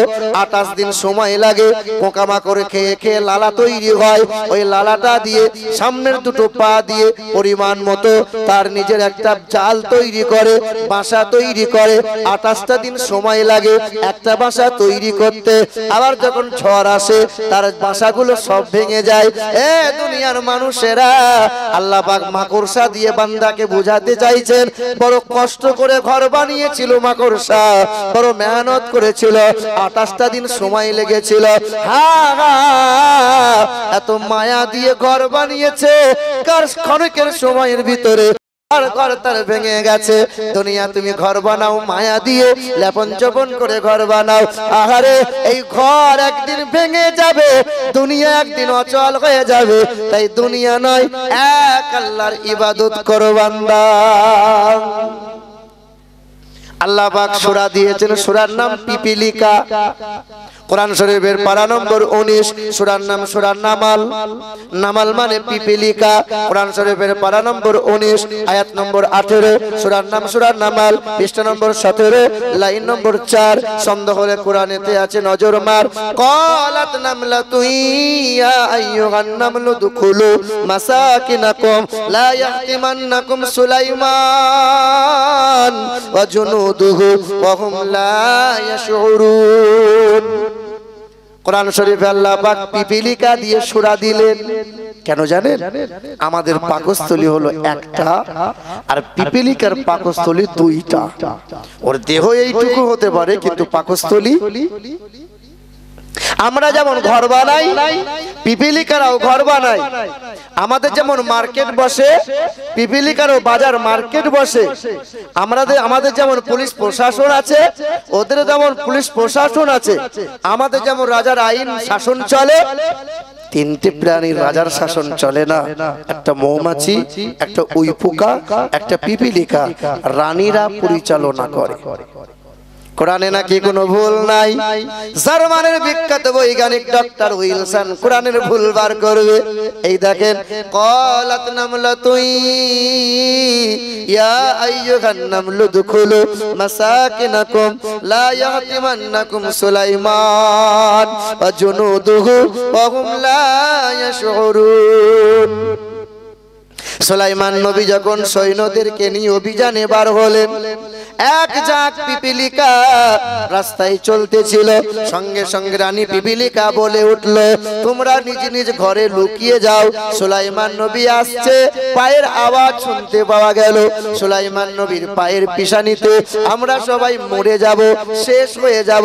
সঙ্গে সঙ্গে জার্মানের বিখ্যাত বৈজ্ঞানিক ডক্টর উইলসন বলেছিল, কোরআনে ভুল নাই, এই তো ভুল পাওয়া যায়। পিপিলিকার তো কোনো কান নাই। পিপিলিকার কান নাই। তো কান যদি না থাকল, তো সুলাইমান নবী যে আসছে, তো পিপিলিকা পায়ের শব্দ কেমনে শুনতে পেল?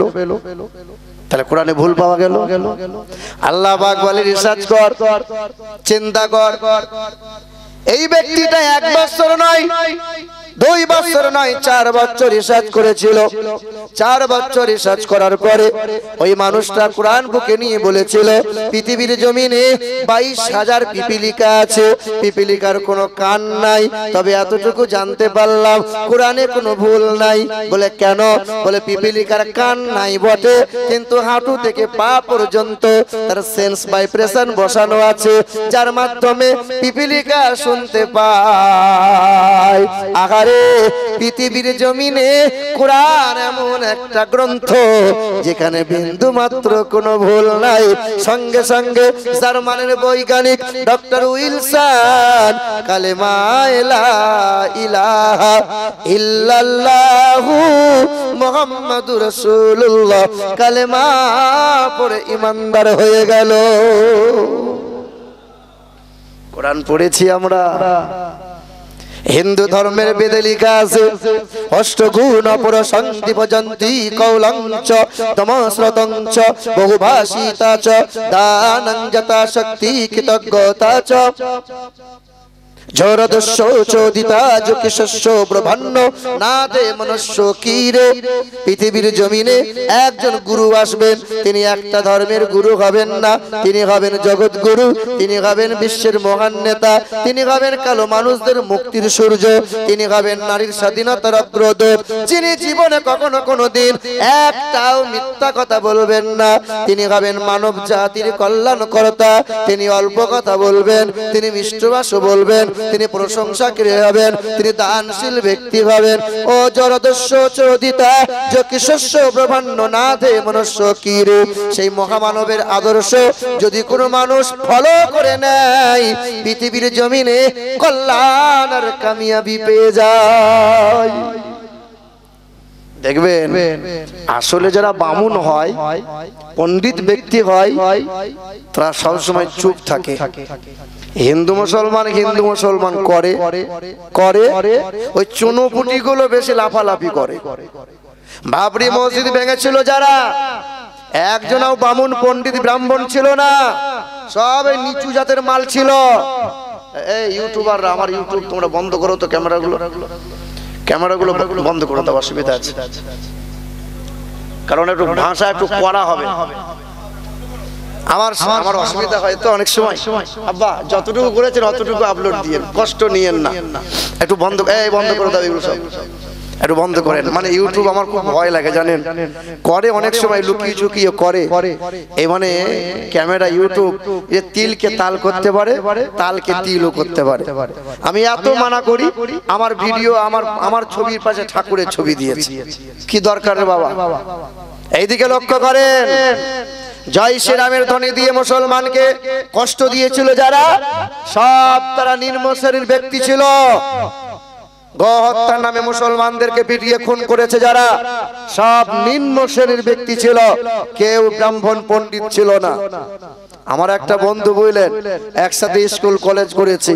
সে আজকে বামুন হয়েছে আর আমি হয়েছি মৌলবী সাহেব।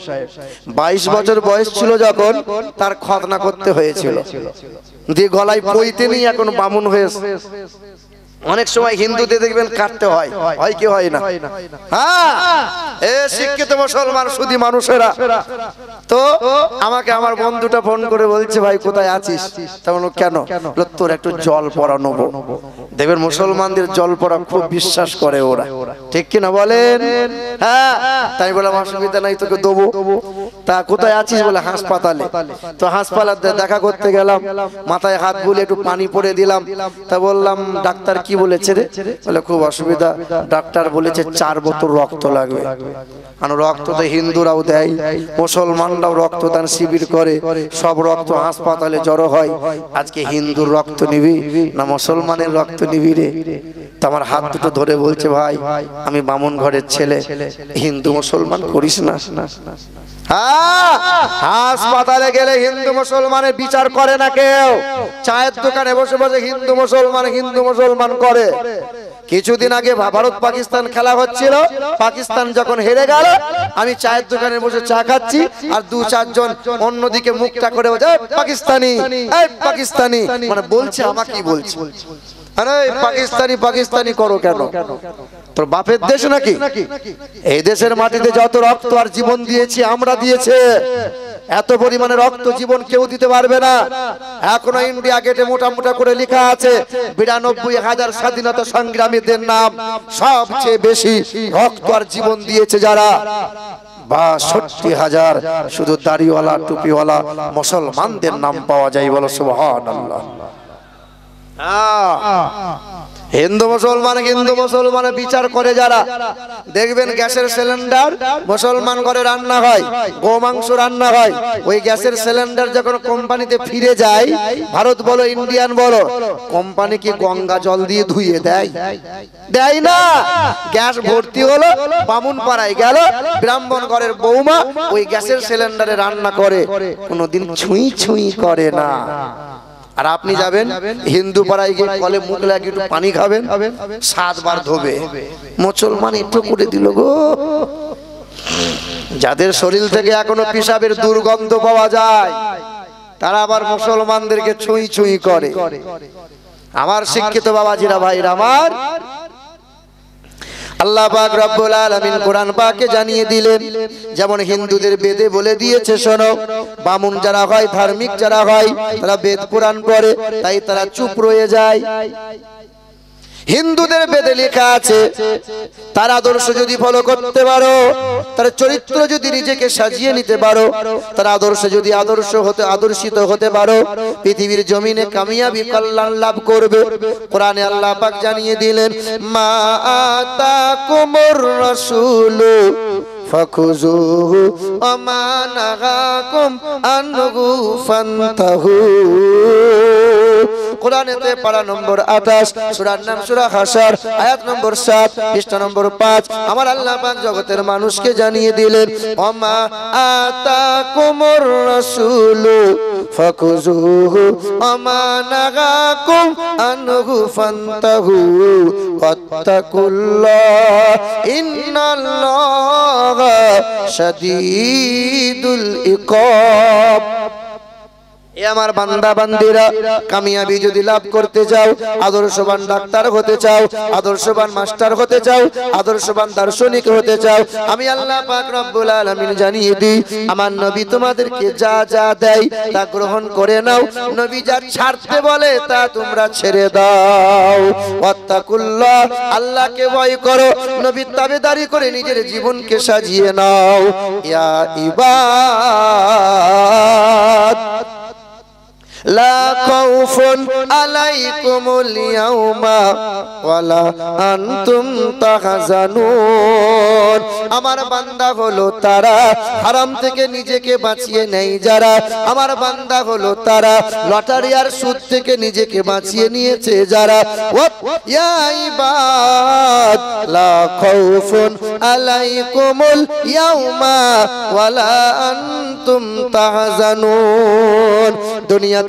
তারা সফল কাম হবে, তাদের কোনো চিন্তা থাকবে না, তাদের কোনো ভয় হবে না, পরকালেও কোনো টেনশন হবে না।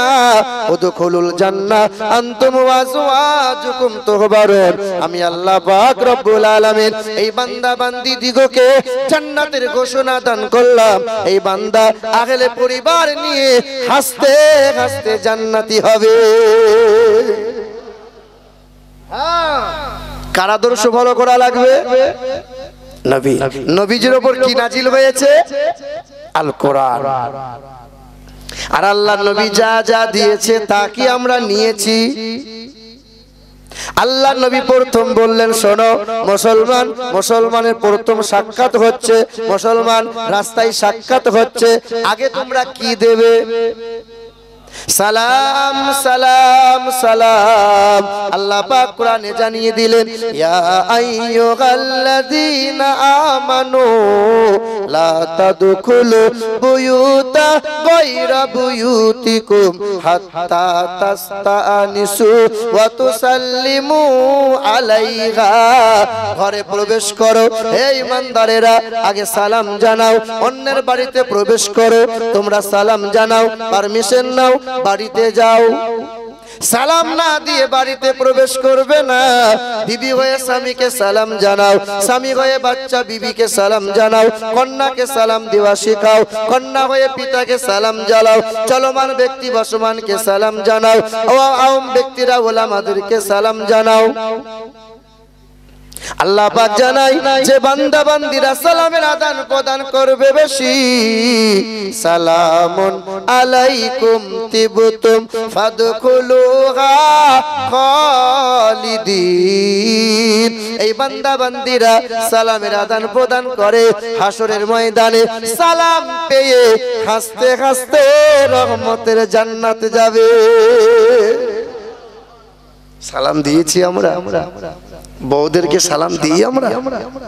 বলেন ঝড়ম করে বাড়ি ঢুকে বললেন বিবিও আপনাকে সালাম দেয় না?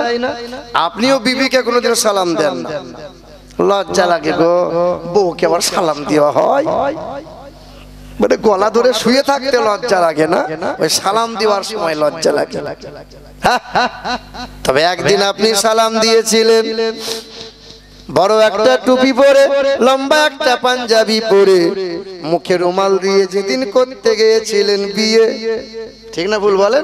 দেখাবো এই দেখেন কেমন ঢং দেখেন। শাশুড়ি দেখছে সর্বনাশ পাহাড় নড়ে কিন্তু জামাই নড়ে না।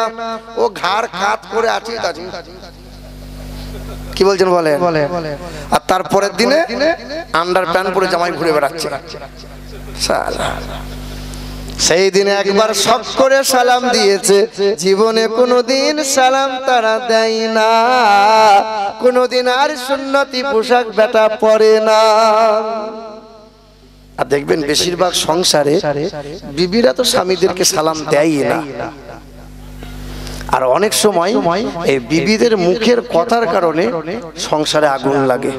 কথা বলেন ঠিক না ভুল বলেন? কিছুদিন আগে একটা মহিলা এসেছে। তাই এসে বলছে হুজুর তাবিজ দেন না একটা আমাকে। তাই বললাম কিসের তাবিজ? বলে আমার স্বামী আমাকে দেখতে পারে না। আনু শোনো একটা অভ্যাস করবে। স্বামী যখন বাড়িতে আসবে বেশি বেশি বিবি তুমি স্বামীকে সালাম দেবে। আর একটা তাবিজ তোমাকে আমি দিচ্ছি। সাদা কাগজটা এইরকম মোটা করে মুড়িয়ে দিয়ে বললাম তো স্বামী যখন ঘরে আসবে টুক করে সালাম দিবি দিয়ে তাবিজটা মুখের ভেতরে টিপে ধরে থাকবে কথা বলবি না। তিন সপ্তাহ পরে বলছে হুজুর সাংঘাতিক তাবিজে কাজ মরা মানুষ জ্যান্ত হয়ে যাবে মনে হচ্ছে? মানে কি হয়েছে রে? স্বামী আর অশান্তি করে না। মানে করবে কি করে? তো তো মুখ বন্ধ করে দিয়েছি। কথা বুঝতে পারছেন না? এই যে মা খালারা হ্যাঁ। তবে সংসারে যদি শান্তি পেতে চান, ওলামারা বলেন, বিবিদের সামনে তিনটে কথা জীবনে বলিয়েন না। কথা বলবেন না? এক নম্বর হলো হলো আপনার বিবিকে যেন ঘন ঘন ব্যাংকের কথা, আয় অর্থের কথা বেশি শোনাবেন না। কদিন পরে দেখবেন আপনি হবেন জিরো, আর আপনার বিবি হবে ম্যানেজার। মানে আপনাকে আপনারই টাকা আপনারই অর্থ আপনার বিবি ম্যানেজারি করবে। ওই জন্য বেশি আয়ের কথা দেবেন না ও মাল ফুলে বেলুন ফোলা হয়ে যাবে। একদম বেশি বলবেন না। দুই নম্বর হলো আপনার বিবির সামনে যেন অন্য মহিলার প্রশংসা করিয়েন না।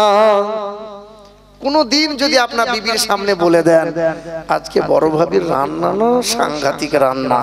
ব্যাস কিচ্ছু বলা লাগবে না। ও ফুপিয়ে ফুপিয়ে কাঁদবে। বালিশ ভিজে ফেলবে। কি হয়েছে কাঁদছিস? কি হয়েছে বল। মানে বলবি না কি হয়েছে বল না। ও আপনাকে বলবে না ওপর মহলে ফোন লাগাবে মানে মাকে ফোন লাগাবে। মা আমি তোমাকে বলছিলাম। কি হয়েছে বল না রে। কি হয়েছে? বল। আমি তোমাকে বলছিলাম তোমার জামাই ফেসে আছে তুমি বিশ্বাস করছ না মা? কি হয়েছে রে? তোমার জামাই দেখো বড় ভাবির সাথে ফেসে গেছে। কি বলেছিলেন? শুধু বলেছিলেন রান্না ভালো। ব্যাস। কথা বুঝতে পারছেন? তিন নম্বর আপনার বিবির সামনে যেন আপনার পার্সোনাল বিষয় গোপন কোনো কথা যদি থাকে কোনোদিন যেন আদর পেয়ে বলে ফেলবেন না আপনাকে এমন খোঁচা মারবে পোলট্রি সেদ্ধ করে দেবে। কথা বুঝতে পারছেন? তবে আপনার বিবি বা কোনো মহিলার যদি চারটে গুণ ভালো হয় জান্নাতের আটটা দরজা আল্লাহ খুলে দেন নবীর কথাই রয়। আল্লাহর নবী বলেন জান্নাতের আটটা দরজা খুলে যায়। একজন মহিলার যদি চারটে গুণ ভালো হয় এক নম্বর মহিলা পাঁচ ওয়াক্ত নামাজ পড়ে, ওই মহিলা রমজান মাসে রোজা রাখে, ওই মহিলা স্বামীর সেবা করে। মানে স্বামীকে তুই তুকারি করে না, স্বামীকে খারাপ ভাষা বলে না, স্বামীকে আঙুল তুলে কথা বলে না, স্বামীকে চোখ রাঙিয়ে কথা বলে না। ওই মহিলা সতী রানী, ওই মহিলা বড় ভদ্র মহিলা, ওই মহিলা আপনার অর্ধাঙ্গিনী, ওই মহিলা আপনার সেবা করে। আর চার নম্বর হলো ওই মহিলা বেপরদাই চলে না বেহায়াপনাই চলে না বে সরমের মতো চলে না, পর পুরুষের সাথে ফোনে গল্প করে না। চারটে গুণ যদি ওই মহিলার ভালো হয়, জান্নাতের আটটা দরজা আল্লাহ খুলে দেন। মানে আপনার বউকে বারবার বলেছেন এই পেট বার করে পঞ্চায়েত যাবি না ব্যাংকে যাবি না। আপনার বউ শোনে না।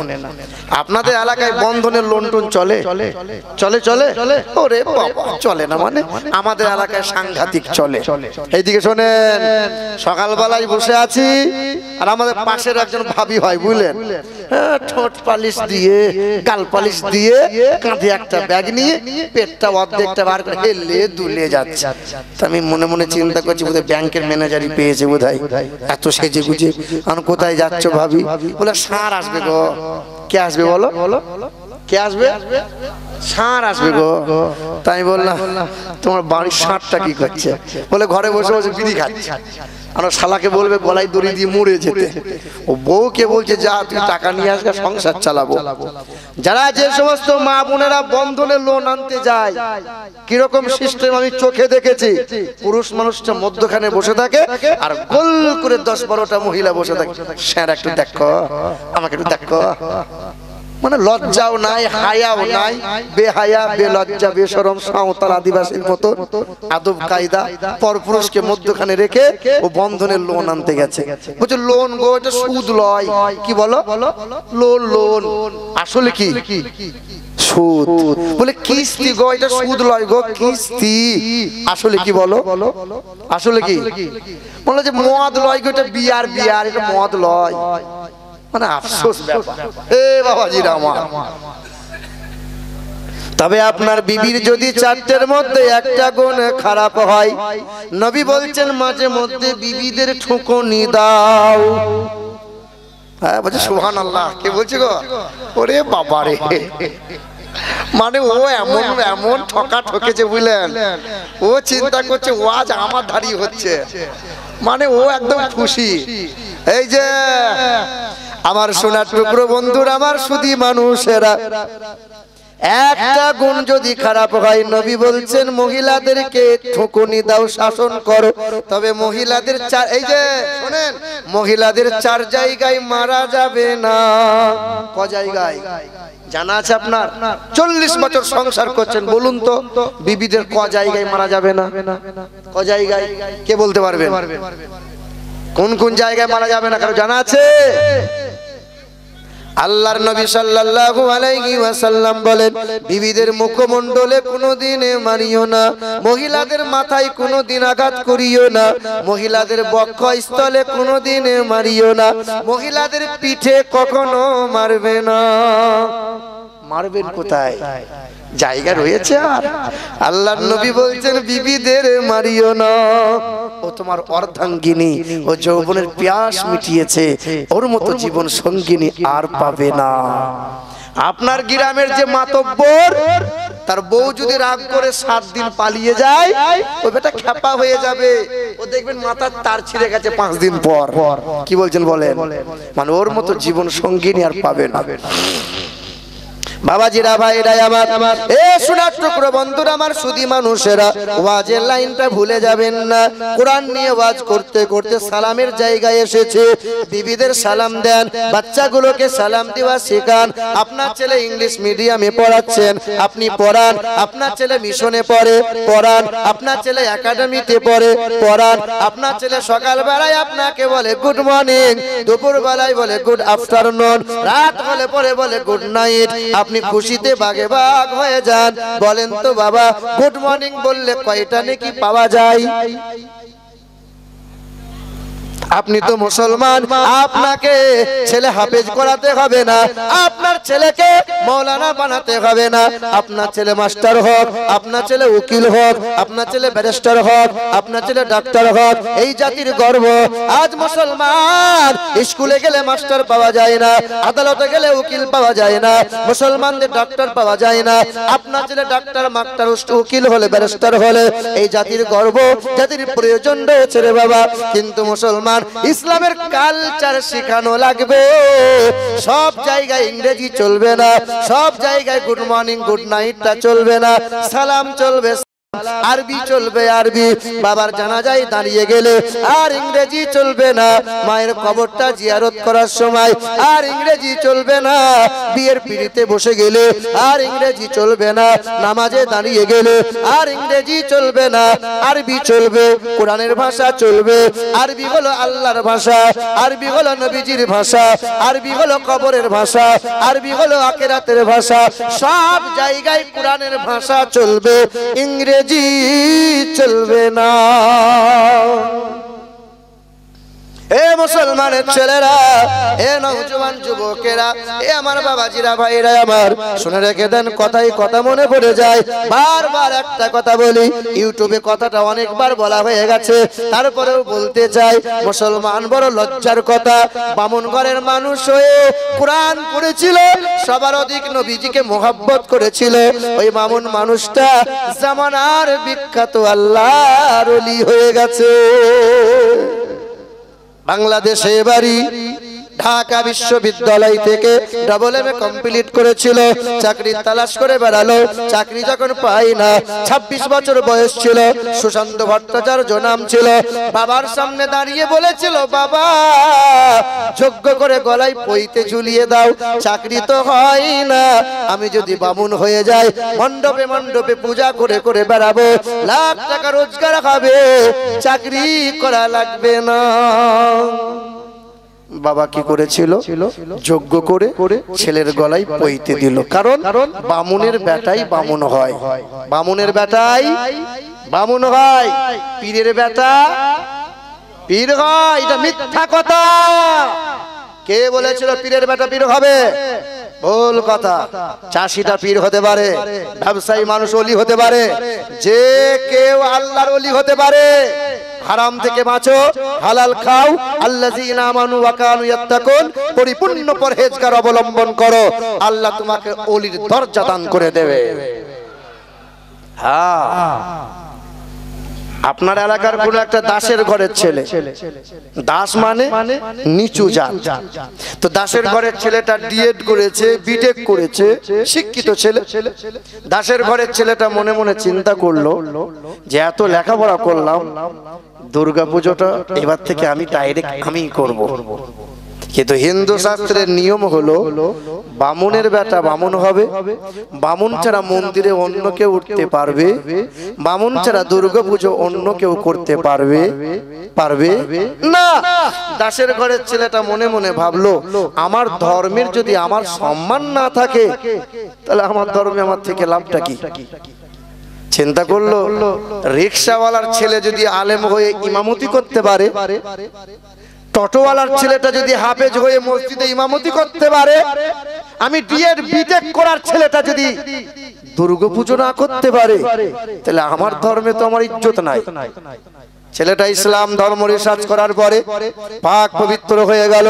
কালমা লা ইলাহা ইল্লাল্লাহ মুহাম্মাদুর রাসূলুল্লাহ। কালেমা পড়ে ঈমান নিয়ে এলো। কালেমা পড়ে ইমান নিয়ে আসার পরে ইমাম সাহেবের পাশে বসে সুরা কালাম কয়েকটা মুখস্থ করে নামাজের তরিকা শিখে নিল।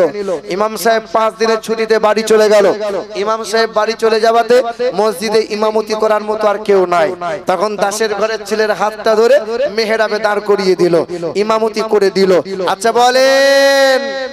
কাল যে দাসের ঘরের ছেলে ছিল আজ ওই ছেলে ইমানদার হওয়ার কারণে আপনার গ্রামে যদি ইমামতি করে দেয় ইমামতি করা সম্ভব বটে কিনা?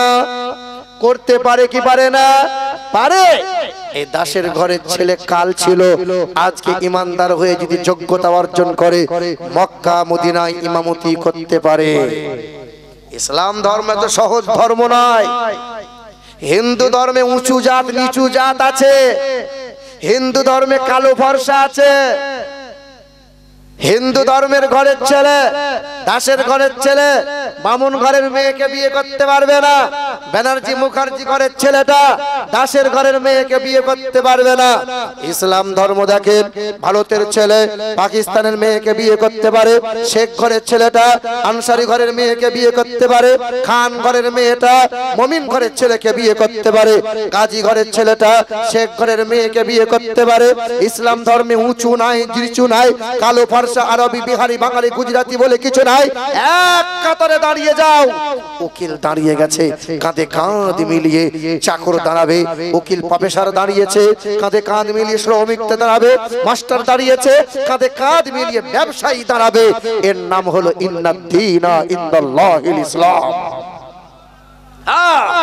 ইসলাম ধর্ম কেমন জানেন? এই দেখেন, আল্লাহর নবী সাল্লাল্লাহু আলাইহি ওয়াসাল্লাম বলেন, ওই যে একজন দেহ ব্যবসা করত, যে একজন পতিতালয়ের মহিলা। মহিলা ইমানদার ছিল, কিন্তু গুনাহগার ছিল, দেহ ব্যবসা করত, রাস্তা দিয়ে যেতে যেতে নিজের ওড়নাটা কুয়া থেকে ভিজিয়ে নিয়ে রাস্তায় অসুস্থ পড়ে থাকা কুকুরকে নিচড়ে নিচড়ে ওড়নার পানি নিচড়ে নিচড়ে পান করিয়েছিল কুকুরটা সুস্থ হয়ে উঠে চলে গেল। আল্লাহ নবী মুচকি হেসে বলেছিলেন কাল ওই মহিলা পতিতালয়ের দেহ ব্যবসায়ী মহিলা ছিল ইমানদার ছিল। গুনাহের কারণে মহিলা এমন জায়গায় পড়েছিল তবে একটা নেক কাজ করার কারণে আল্লাহ সব তার গুণাগুলো মাফ করে দিয়েছে। কাল মহিলা বিশ্বাস ছিল আজ মহিলা জান্নাতি হয়ে গেছে।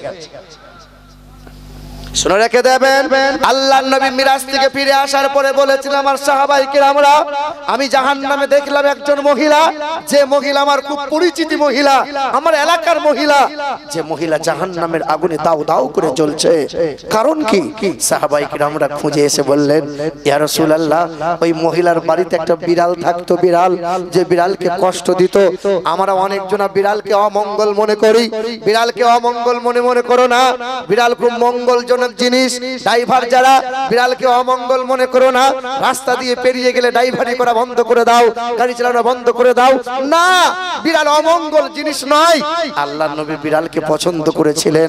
আল্লাহ নবীর একটা সাহাবী ছিল, তার নাম ছিল আব্দুর রহমান। বিড়ালকে কোলে করে নিয়ে ঘুরে ঘুরে বেড়াতেন। আল্লাহ নবীর কাছে বসেছেন, বিড়ালটা লাভ দিয়ে নবীর কোলে চলে গেছে। আল্লাহ নবী সেই দিন বলেছিলেন, এ আবু হুরাইরা আবু হুরাইরা মানে এ বিড়ালের বাপ তোমার কোলে বিড়াল। এ বিড়ালের বাপ সেই দিন আব্দুর রহমান খুশি হয়ে বলেছিলেন, আমার নাম আব্দুর রহমান ছিল। আজ থেকে আমার নাম হলো আবু হুরাইরা আল্লাহ নবী বিড়ালকে পছন্দ করেছিলেন। আল্লাহ নবী অজু করবেন, লোটাতে পানি আছে। এমন সময় বিড়াল ছুটে এসে মুখ দিয়েছে। সাহাবা বলেছেন, ইয়া রাসূলুল্লাহ পানিটা আপনি অজু করিয়েন না। নবী বলছেন, কেন? বিড়ালে মুখ দিয়েছে। নবী বলছেন, তো কি হয়েছে? বিড়ালের জিহ্বায় কোনো জীবাণু নাই। বিড়ালের শরীরে কোনো জীবাণু থাকে না। বিড়াল কোনো পাত্রে মুখ দিলে ওই পাত্র সাতবার ধোয়া লাগে না। এ বন্ধু, সোনার টুকরো বন্ধুরা, আজ বর্তমানে বৈজ্ঞানিকরা রিসার্চ করে বলে, কুকুরের জিহ্বায় জীবাণু আছে। তাই তো নবী বলেছেন সাতবার ধোয়া লাগবে। বিড়ালের জিহ্বায় কোনো জীবাণু নাই। নবী বলেন যে বাড়িতে বিড়াল পোষে, যে বাড়ির বিড়াল থাকে, ওই বাড়িতে জেন খবিসের আশ্রয় হয় না। একটু জোরে হবে না সুহান আল্লাহ আল্লাহ নবীকে বলছেন, ইয়া একটা ওই মহিলাকে আপনি জাহান্নামে দেখে এলেন? ওই মহিলাকে দেখলাম। ওই মহিলার বাড়িতে একটা বিড়াল থাকতো। বিড়ালকে কষ্ট দিয়েছিল। বিড়ালটা অসুস্থ হয়ে মারা গেছে। আল্লাহ নবী বলছেন, ও বিড়ালকে কষ্ট দেওয়ার কারণে মহিলা জাহান নামে ইসলামটা দেখেন, কুকুরের সেবা করার কারণে একজন বিশ্বা মহিলা জান্নাতি হয়। আর একজন বিড়ালকে কষ্ট দিয়ে বিড়ালকে কষ্ট দেওয়ার কারণে নামাজি মহিলা জাহান নামে জ্বলছে। আর মুসলমান হয়ে মুসলমানকে যদি কষ্ট দাও হ্যাঁ? কোথায় ঠাঁই হবে বাবা? আমার শিক্ষিত বাবা জিরা ভাইরা আমার। ওয়াজের লাইনটা ভুলে যাবেন না। খুব মনোযোগ সহকারে রাখবেন। বামুন ঘরের ছেলেটা গলায় পইতে ঝুলিয়ে নিল। ওই ব্রাহ্মণ ঘরের ছেলেটা গলায় পইতে নিয়ে পূজা অর্চনা করে করে বেড়ায়। দুর্গা পূজা করে সরস্বতী পূজা করে লাত মান্না দেবী দেবীর পূজা করে। হা হা এমন সময় সন্ধ্যাবেলায় যেমন বেদ রামায়ণ পড়ে পড়তে পড়তে বাবার সামনে বলেছিল ও বাবা বেদে আমি দেখতে পেলাম অন্তিম মহামানবের কথা। ইতং কৌলগত প্রায় জনি সুপর ধর্মনি ধর্মত্ব নাই সাথে ন, ভগবান বতরিষ্যতি, অততে সং ভবিষ্যতে মনংসে ভেষদানিব বাসুদেবঙ্গরঙ্গীতি পুণ্যগন্ধানিল স্পর্শ নির্পলিঙ্গ ছিদ বিশ্ব নাম কোটি শনি নাম, আম সন্তা সরোতি শতপতি মার্মেঘে মঙ্গলম সুন্দরম নরসংসা। পৃথিবীর জমিনে একজন আসবেন অন্তিম মহামানব। তিনি হবেন বিশ্বের মহান নেতা, তিনি হবেন মানব জাতির মুক্তির দাতা, তিনি হবেন জগৎগুরু কল্যাণ কর্তা তিনি যখন পৃথিবীর জমিনে আবির্ভাব হবেন, লিঙ্গচ্ছেদ অবস্থায় পৃথিবীর জমিনে আবির্ভাব হবে। বলেন, আল্লাহর নবী যখন পৃথিবীতে এসেছিলেন, আমার নবীজির কি নারী কাটতে হয়েছিল? কথা বলেন না কেন? নবীজির কি খাতনা করা লেগেছিল? প্রতিটা মা মহিলার পেটে যখন বাচ্চা আসে মেন্স বন্ধ হয়ে যায়। এই নাপাক রক্ত নারীর মাধ্যমে বাচ্চার শরীরে যায়। বাচ্চা হুষ্টপুষ্ট হয়। কিন্তু আমার নবীজির জন্য আল্লাহ যেন বলতেছিল আমি না এ আমি না তোমার পেটে আমার হাবিবকে রেখেছি। আমার হাবিবকে নাপাক রক্ত আমি আল্লাহ খাওয়াবো না। জান্নাতি খাবার আমি আল্লাহ কুদরতি হাত দিয়ে খাওয়াবো। তাই তো মায়ের সাথে নবীর নারীর কোনো যুক্ত ছিল না। আল্লাহর নবী যখন পৃথিবীতে ভূমিষ্ঠ হয়েছিলেন, খাতনা করা অবস্থায় হয়েছিলেন। তাই তো দেখবেন, আজও খ্রিস্টান ধর্মের অনুসারী যারা, বাচ্চাদেরকে ছোটবেলায় খাতনা করে দেয়। খ্রিস্টান ধর্মের পাদ্রীরা জিজ্ঞাসা করেছিল বিজ্ঞানদেরকে, সেদিন বৈজ্ঞানিকরা বলেছিল, মুসলমানরা খাতনা করে, আর মুসলমান ছেলেরা মেয়েরা পিসাব করে পানি নেয়। এই দুটো অভ্যাস মুসলমানদের থাকার কারণে লজ্জা স্থানে মুসলমানদের চারটে রোগ হয় না।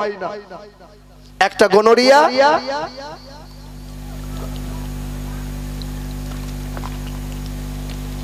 একটা ক্যান্সার একটা এইডস একটা গনোরিয়া একটা সিপিলিস এই চারটে রোগ মুসলমানদের হয় না।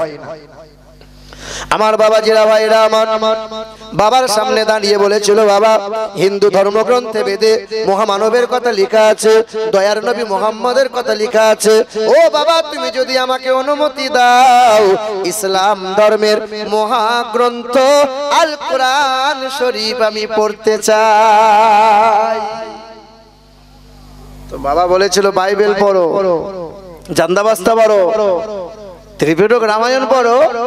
কিন্তু মুসলমানদের কোরআন যেন পড়ো না। আচ্ছা হিন্দুরা কোরআন পড়তে পারে কি পারে না? পারে? পারে? পারে? কি বলছে পারে। হাজা বায়ানুল লিন্নাস। হুদাল লিন্নাস ওয়া বাইয়ানাতিন মিনাল হুদা ওয়াল ফুরকান। সবাই পড়তে পারে। কিন্তু অপবিত্র অবস্থায় কোরআন ছুঁইতে পারবে না। এ বাণী সকলের নয়, শুধু মমিনের। যারাই চলবে মেনে ফল পাবে কোরআনের। এ বাণী সকলের নয়, শুধু মমিনের। যারাই চলবে মেনে ফল পাবে কোরআনের। ঘরে বলো কিবা রাষ্ট্রে বলো, অশান্তি দূর করে শান্তি আনে। সমাধান সমাধান চাও যদি জীবনে মরণে। ফিরে যাও খুঁজে নাও চোখ রাখো সমাধান। জাগার পরশ পেয়ে পাথর হলো সোনা। সন্দেহ ভুল নাই। তাগার কিটি কোনা। জাগার পরশ পেয়ে পাথর হলো সোনা। সন্দেহ ভুল নাই। তাগার কিটি কোনা। এ যে এক বিপ্লব পিছে ফেলে যত সব। এগিয়ে চলে সে অগর পানে সমাধান। অমর ফারুকের মতো ব্যক্তি, পাথরের মতো শক্ত ছিল। সোনার চেয়ে দামি হয়েছে না হয় নাই? কোরআন পড়তে পারেন না? ষাট বছর হলো, সত্তর বছর হলো, মন খারাপ করছেন কেন? কোরআন কোরআন পড়লি? না, কোরআন ছুঁইবেন, কোরআন বুকে নেবেন, কোরআনে চোমা দেবেন, কোরআনকে জড়িয়ে ধরবেন। আল্লাহ তাতেই সন্তুষ্ট হয়। ব্রাহ্মণ বাবা বলেছিল, কোরআন পড়তে পারবে না। এই দেশের মাটিতে পাঞ্জাবিরা বাস করে, মাথায় পাগড়ি দেয়, লম্বা পাঞ্জাবি পরে লম্বা দাড়ি রাখে। কারও কোনোদিন কোনো অসুবিধা হয় না। এই দেশের মাটিতে কত গির্জা আছে, মন্দির আছে, পাঠশালা আছে, কারও কোনো অসুবিধা হয় না। মসজিদগুলো নিয়ে অসুবিধা হয়, দাড়িওয়ালা মুসলমানদেরকে নিয়ে বড় অসুবিধা হয়। এই দেশের মাটিতে সবচেয়ে বেশি অবদান আমাদের। মিসাইল দিয়েছে মুসলমানেরা তাজমহল দিয়েছে মুসলমানেরা লাল কেল্লা দিয়েছে মুসলমানেরা আকবর কেল্লা দিয়েছে মুসলমানেরা হুমায়ুন কেল্লা দিয়েছে মুসলমানেরা চার মিনার দিয়েছে মুসলমানেরা কুতুব মিনার দিয়েছে মুসলমানেরা শহীদ মিনার দিয়েছে মুসলমানেরা হাজি আলী দিয়েছে মুসলমানেরা দিল্লি জুমা মসজিদ দিয়েছে মুসলমানেরা কলকাতার হাইকোর্ট দাঁড়িয়ে আছে মুসলমানদের জায়গায় নবান্ন দাঁড়িয়ে আছে মুসলমানদের জায়গায় নেতাজি ইন্ডোর স্টেডিয়ামটা মুসলমানদের জায়গা মোহন বাগান খেলার মাঠটা মুসলমানদের জায়গা ইডেন গার্ডেন খেলার মাঠটা মুসলমানদের জায়গা নেতাজি বিমান বন্দরটা মুসলমানদের জায়গা। টালিগঞ্জ বলে একটা শহর আছে, তিনশো বিরাশি বিঘা, গোটা শহরটা মুসলমানদের জায়গা। এখনও কন্যাশ্রী দেওয়া হয় ওয়াকবের সম্পত্তি টাকায়, এখনও ইমাম ভাতা দেওয়া হয়, মুসলমানের টাকায়, স্কুলে সাইকেল দেওয়া হয়, মুসলমানদের টাকায়। আরে মুসলমানদের ওয়াকবের যা সম্পত্তি আছে, পশ্চিমবঙ্গ তিনবার বিক্রি করে কেনা হবে।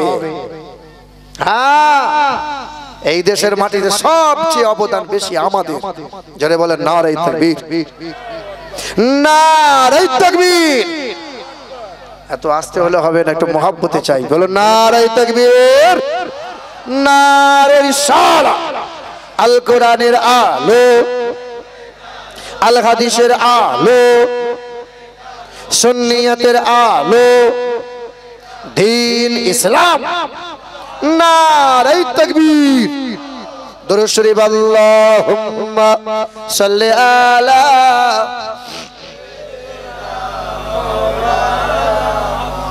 وعلى وعلی سيدنا আমার মুসলমানের ছেলেরা ওয়াজ খুব মনোযোগ সহকারে শোনেন। ওই বামুন ঘরের ছেলেটা বাবার কাছে বারবার আরজি করেছিল। বাবা আরজি যখন মানতে বাধ্য হয়ে গেল, ওই ছেলেটা রাত গভীর হয়েছিল। অন্ধকার, নিরিবিলি, নির্জনে ইমাম সাহেবের কাছে চলে গেল। ইমাম সাহেবের দরজায় আওয়াজ দিয়েছিল। দরজা খুলে বলেছিল, খোকা, কি চাই? বামুন ঘরের ছেলে গলায় পইতে নিয়ে ইমাম সাহেবকে বলল, হুজুর, আমাকে আরবি পড়া আলিফ বা তা শিখিয়ে দেন। আমি কোরআন পড়া শিখতে চাই আর মুসলমানের ছেলেগুলো দিন রাত মোবাইলে খোঁচা মারবে। বলছে, আমরা ইরে গুরু, তৈরি হব। লজ্জা লাগে না। বাপগুলোও তেমন হয়েছি আমরা। এই যে আমি আমি, আপনি। আমরা সব লাগাম ছেড়ে দিয়েছি। ওই যে মা, শিশুকালে বাচ্চা খায় না, লে মোবাইল দেখ। ঘুমাই না? লে মোবাইল দেখ। ভোরের বেলায় ঘুম হচ্ছে না ছেলে জ্বালাচ্ছে। লে মোবাইল দেখ। আজকে যত মোবাইল দেবে দাও। কালকে রেডি থাকো বুড়ো বুড়ি যখন হবে এই কপালে মুড়ো ঝাঁটা পড়বে মুড়ো ঝাঁটা। দেখে নিও। মা বাপ হয়ে ছেলে মানুষ করতে শিখলে না। সোনা মহিলা শুনে রেখে দেন মায়েরা বোনেরা বাবারা ভাইরা আমার। ثم خلقنا النطفة علقة فخلقنا العلقة مزغة فخلقنا المزغة عظاما فكسونا العظام لحما ثم أنشأناه خلقا آخر খুব মনোযোগ সহকারে পুরুষের শিরদারা থেকে এক ফোঁটা পানি মহিলার পাঁজর থেকে এক ফোঁটা পানি এই দুই ফোঁটা পানি মিশ্রিত হয়ে মহিলার গর্ভে যখন প্রবেশ করে আল্লাহ বলছেন এই পানিটার নাম হলো নুতফা কি নাম বলেন? নুতফা। যেমন চল্লিশ দিন যায়, আল্লাহ পাক পানিটাকে রক্ত বানিয়ে দেন। আবার চল্লিশটা দিন যেমন যায়, রক্তকে আমার আল্লাহ মাংস বানিয়ে দেন।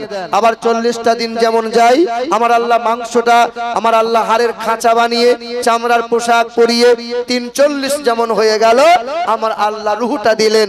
মায়ের পেটে বাচ্চার নাড়াচাড়া শুরু হয়ে গেল। কতদিনে বাচ্চা প্রাণ পেল?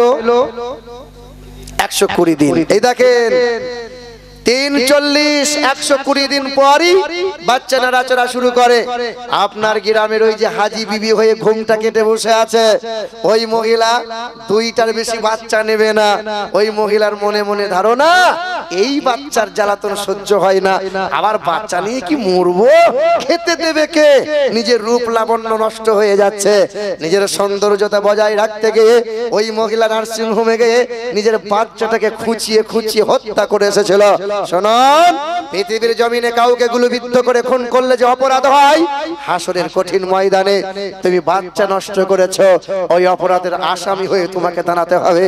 পৃথিবীতে কোনো মানুষকে পিটিয়ে পিটিয়ে খুন করলে যে অপরাধ হয়, খুঁচিয়ে খুঁচিয়ে যে খুন করলে যে অপরাধ হয়, বাচ্চা নষ্ট করলেই সেই অপরাধটা হয়। হাসরের কঠিন ময়দানে ছোট্ট একটা মাসুম বাচ্চা ছুটে আসবে আর মহান মালিকের দরবারে ওই ওই মহিলাটার বিরুদ্ধে নালিশ করে বলবে, আল্লাহ এই আমার মা ছিল গো, মালিক, এই আমার মা ছিল। আমি এর পেটে ছিলাম, আমি আমার মাকে নিজের ভাষায় কেঁদে বলেছিলাম, মা তুই আমাকে মেরে ফেলিস না রে মা। সেদিন আমার নিষ্ঠুর মা, আমার নিষ্ঠুর হৃদয়ের মা আমাকে খুঁচিয়ে খুঁচিয়ে হত্যা করেছে। আমি তোমার মাকে নিজের ভাষায় বলেছিলাম, আমি ভূমিষ্ঠ হলে তোকে কোনোদিন মা বলে ডাকবো না। তুই যেন আমাকে মেরে ফেলিস না। এই নিষ্ঠুর মা সেদিন খুঁচিয়ে খুঁচিয়ে মেরেছে, ট্যাবলেট খেয়ে বাচ্চাকে ওয়াশ করে এসেছে, নিজের সৌন্দর্যতা বজায় রাখার জন্য কত পুরুষ, কত মহিলা হাসরের কঠিন ময়দানে জান্নাতের দরজা থেকে ফেরত নিয়ে তাকে জাহান্নামে টানতে টানতে ফেলা হবে। জান্নাতে যাওয়া কঠিন হয়ে দাঁড়াবে। শোনবন্ধ বাচ্চার যখন ছয় মাস বয়স হয়, বাচ্চা দুনিয়ার সব শব্দ শুনতে পায়। সব শব্দ শুনতে পাই। পিরানে পীর দাস্তাগীর মহিউদ্দিন আব্দুল কাদের জিলানী, তিন বছর ছয় মাস যখন বয়স ছিল, কত বছর? হ্যাঁ মা হাত ধরে মক্তবে নিয়ে গিয়েছিলেন। হুজুর, আমার ছেলেটাকে একটু আলিফ বেতে শিখিয়ে দেন।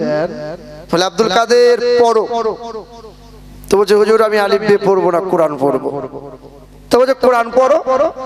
তবে দেখে দেখে পড়ব না আমি না দেখে পড়ব। তা তাই পড়ো। তো সঙ্গে সঙ্গে পিরানে বীরদস্তগীর মহিউদ্দিন আব্দুল কাদের জিলানি। পড়তে পড়তে কোরআন শরীফটা এক পড়া হয়ে গেল দুই পড়া হয়ে গেল। পড়তে পড়তে আঠারো পড়া পর্যন্ত কোরআন শরীফ দাঁড়িয়ে দাঁড়িয়ে শুনিয়ে দিয়েছিল। বলে আব্দুল কাদের কি করে শিখলি বাবা? বলে আমি যখন মায়ের পেটে ছিলাম আমার মা সকাল সন্ধ্যা কোরআন তেলবাদ করত। আঠেরো পড়ার হাফেজা ছিল আমার মা। তাই মায়ের কোরআন তেলবাদ শব্দ আমি শুনতে পেয়েছিলাম। তাই মায়ের পেটে আঠেরো পড়া কোরআনের হাফেজ হয়েছে।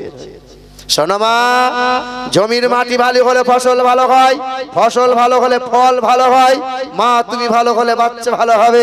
মা, তোমার পেট ভালো হলে বাচ্চা নেককার হবে। মা, যদি দিন রাত সিরিয়াল আর হিন্দি গান শোনে, বাচ্চা বিচুতি মাল তৈরি হবে। আর মা, যদি সুরা কালাম, দরুদ শরীফ, সালাম শরীফ পড়ে, তো বাচ্চা তোমার আল্লাহ ওয়ালা হবে। জানা আছে খাজা মঈনুদ্দিন তেনার প্রধান খলিফা প্রধান শিষ্যর নাম জানা আছে আপনাদের? জানা আছে। কারও? তার প্রধান খলিফার প্রধান শিষ্য তার নাম হচ্ছে হজরতে বাবা কুতুবুদ্দিন বাখতিয়ার কাকি রহমতুল্লাহ আলাইহি।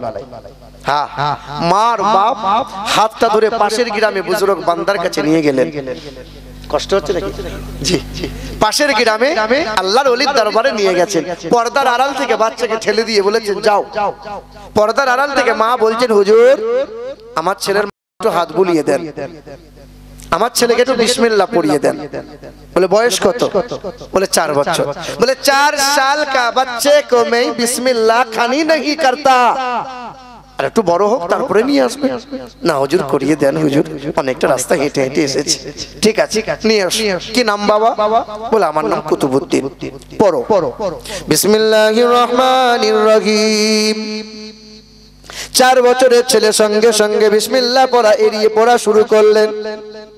أعوذ بالله من الشيطان الرجيم. بسم الله الرحمن الرحيم. الحمد لله رب العالمين.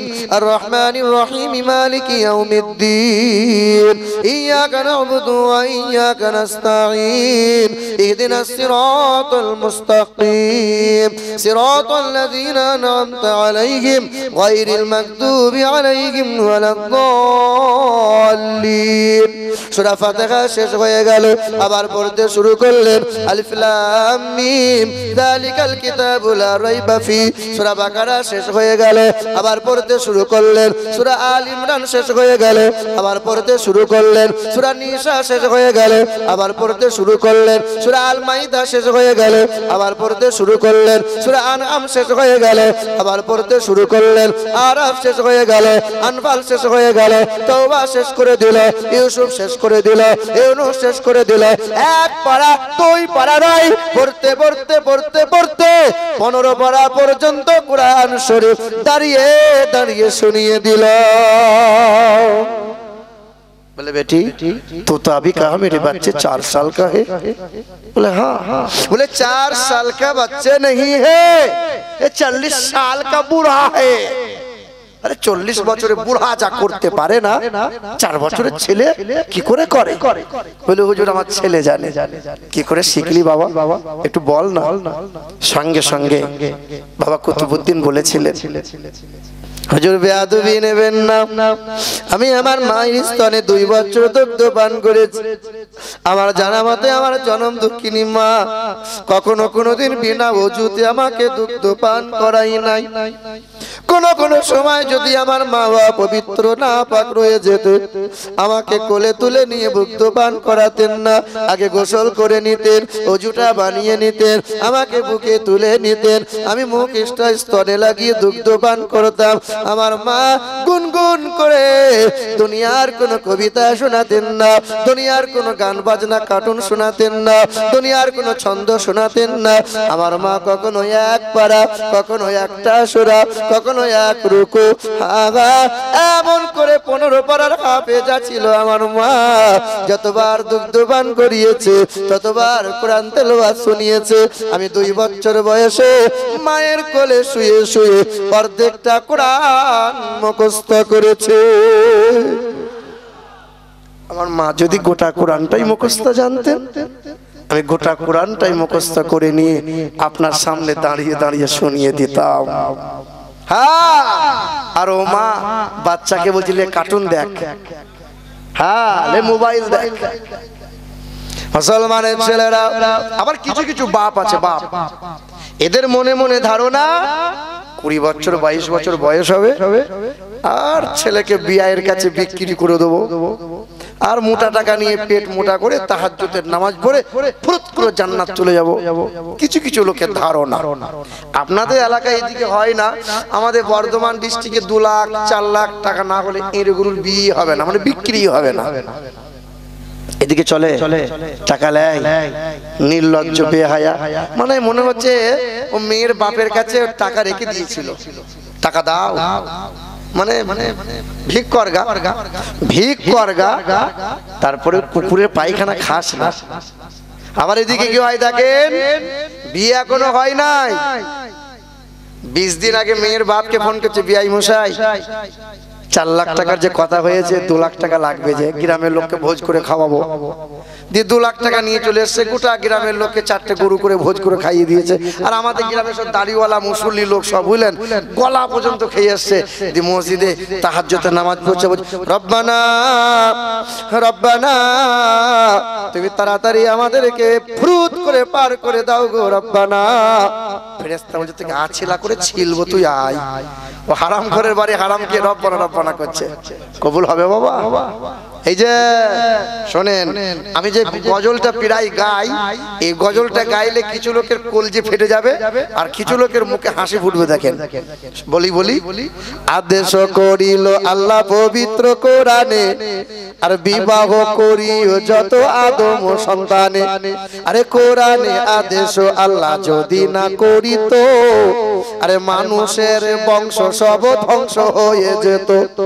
কিন্তু হাই, বর্তমানে হইতেছে এমন। আরে বেটির বিয়েতে বেটার বাপ নিচ্ছে কত পণ। আরে কেউ বা নিচ্ছে সোনা দানা, কেউ বা টাকা করি আরে কেউ বা নিচ্ছে জমি জায়গা, কেউ বা নিচ্ছে বাড়ি। আবারও কত বাবজি বলে, দেখি নিব না কোপন আরে বেটা বেটি, সাজিয়ে দিকে বিয়াই আপন। টাকার বেলায় সাধু সাজে, জমির বেলায় চোর। এই যে, টাকার বেলায় সাধু সাজে, জমির বেলায় চোর। আর বর্তমানে কিছু বেটার বাপ এমনি হারাম খোর। চোর লোকে চুরি করে, অন্ধকার হলে। আরে চোর লোকে চুরি করে, অন্ধকার হলে। আরে বেটার বাপ চুরি করে দিনেরই আলোতে। হাই রে বেটার বাপ, তুমি এমনি লোভী হলে। হাই রে বেটার বাপ, তুমি এমনি লোভী হলে। আরে টাকার বদলে বেটা বিক্রিও করিলে। আরে নন্দ কুমার বাজারে শুনি, বিক্রি হয় পাঠা। আরে নন্দ কুমার বাজারে শুনি, বিক্রি হয় পাঠা। আরে পাঠার মতো বিক্রি করো তোমরা নিজের বেটা এই কুমারিও না। আরে তোমার জন্য কত নারী বিষ পান করে। আরে কত নারী গলায় দড়ি দিয়ে ঝুলে মরে। এর জন্য কে বাদাই জানো বেটার বাপ। আর বেটির বাপের কাছে নিচ্ছ তুমি শত শত অভিশাপ। যখন কোন লোক মারা যায়, আপনার গ্রামের ইমাম সাহেব তখন দাঁড়ায় আর বলে, এই কোদালের বাপ মরে গেছে, খুব ভালো লোক বাবা। ভুল ত্রুটি যদি করে থাকে বাবা, সবাই আল্লাহর মাফ করে দাও। সবাই তখন ঢং করে বলে, আলহামদুলিল্লাহ, মাফ করে দিলাম। এই যে আপনাকে বলি, শোনেন, ওই মজলিসে বসে আছে, দাঁড়িয়ে আছে মেয়ের বাপ। মেয়ের বাপের তখন মনে পড়ে গেছে, এই মানুষটা সেই মানুষ যেদিন তিন লাখ টাকা নগদ দিতে হয়েছিল, চার ভরি সোনা দিতে হয়েছিল, এক ভরি সোনাটা এক বছর দিতে দেরি হয়েছিল বলে এই মানুষটা দিন রাত আমার মেয়েটাকে খোঁটা দিয়েছিল, দিন রাত আমার বিয়ানটা খোঁটা দিয়েছিল, আমার মেয়েটা কানতে কানতে বাপের বাড়ি চলে এসেছিল আর বলেছিল, আব্বা, আমি ওই বাড়িতে আর কোনোদিন সংসার করতে যাব না। আমার শাশুড়ি আমার শ্বশুরটা দিন রাত খোঁটা দেয়। তুমি ফিরিসটা দিতে পারো নাই বলে দিন রাত আমাকে খোঁটা দেয়। শোনো মহিলা, শোনো শোনো পুরুষেরা, যে ব্যক্তি খোঁটা দেয় এই খোঁটা দেনেওয়ালা মহিলা পুরুষের জন্য জান্নাত নাই। বৌমা হয়ে শাশুড়িকে খোঁটা দিও না। শাশুড়ি হয়ে বৌমাকে খোঁটা দিও না। তাহাজ্জতের নামাজ পড়লেও তোমার জন্য জান্নাত নাই। পৃথিবীর জমিনে ওই গুণা আল্লাহ মাফ করে না। ওই গুণা কোনো হুজুর তোমাকে মাফ করাতে পারবে না। এক আপনার আপনারা তিন ভাই, বাপ মরে গেছে, ছ বিঘা জমি, বসে বসে ভাগ হচ্ছে।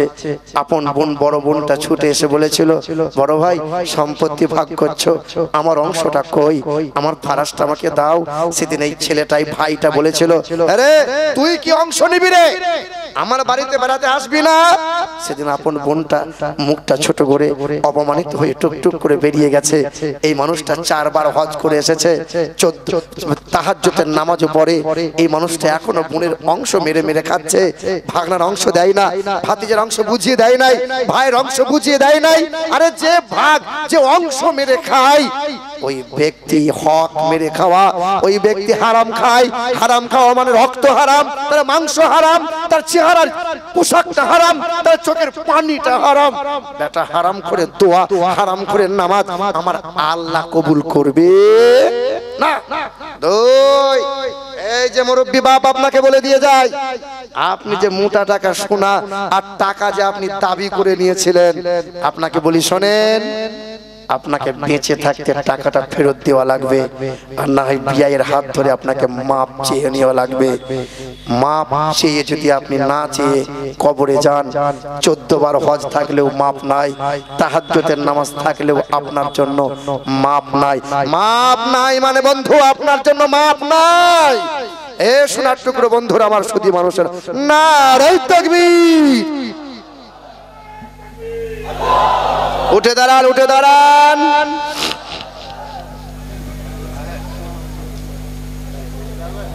স্টেজে আসছেন বাইরে কোথায় আসবে? জিন্দাবাদ। আল্লাহু আকবার। বসেন বসেন। মাশাআল্লাহ আলহামদুলিল্লাহ বসেন। দরুদ শরীফ আল্লাহুম্মা সাল্লি আলা বসেন ওয়ালা আলী সৈয়দনা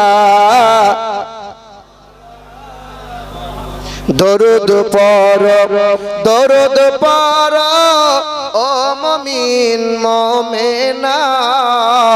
আরে দরুদ বিনে, হাসর মিজানে, আরে না যাতে কে হই পাইবানা আল্লাহ হুম্মা সাল্লি আলা। ওটা বাসা করিয়েন না, বসেন একটু, বসেন। ওয়ালা আলী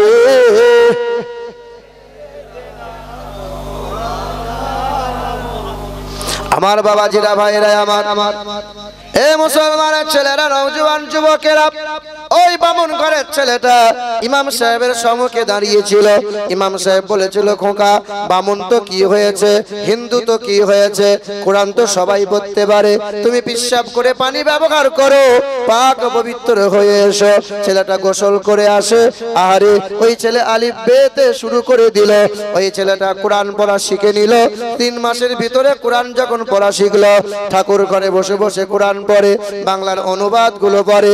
ওই বামুন ঘরের ছেলেটা যখন কোরআন পড়ে, পৃথিবীর যত মন্ত্র ছিল, গান ছিল, কোরআনের মহাব্বতের কারণে সব মন্ত্র ব্যক্তি ভুলে গেল। পৃথিবীর জমিনে অনেক গান আছে, মোহাম্মদ রফিকের গান, কিশোর কুমারের গান। কিছুদিন ভাইরাল ছিল, মানুষ সবাই প্রশংসা করেছিল। তবে হ্যাঁ হ্যাঁ সব এসেছে, এক সময় চলে গেছে। পৃথিবীর জমিনে এমন একটা কিতাব, এমন একটা কালাম। চল্লিশ বছর ধরে নামাজ পড়া হয়, তিরিশ বছর ধরে নামাজ পড়ে সন্ন্যত পরে সুরা ফাতেহা পড়ে, নফল পরে সুরা ফাতেহা পড়ে, ফরজ পরে সন্ন্যতে আপনার ফরজ পরে সুরা ফাতেহা পড়ে, ইমাম সাহেব সুরা ফাতেহা পড়ে।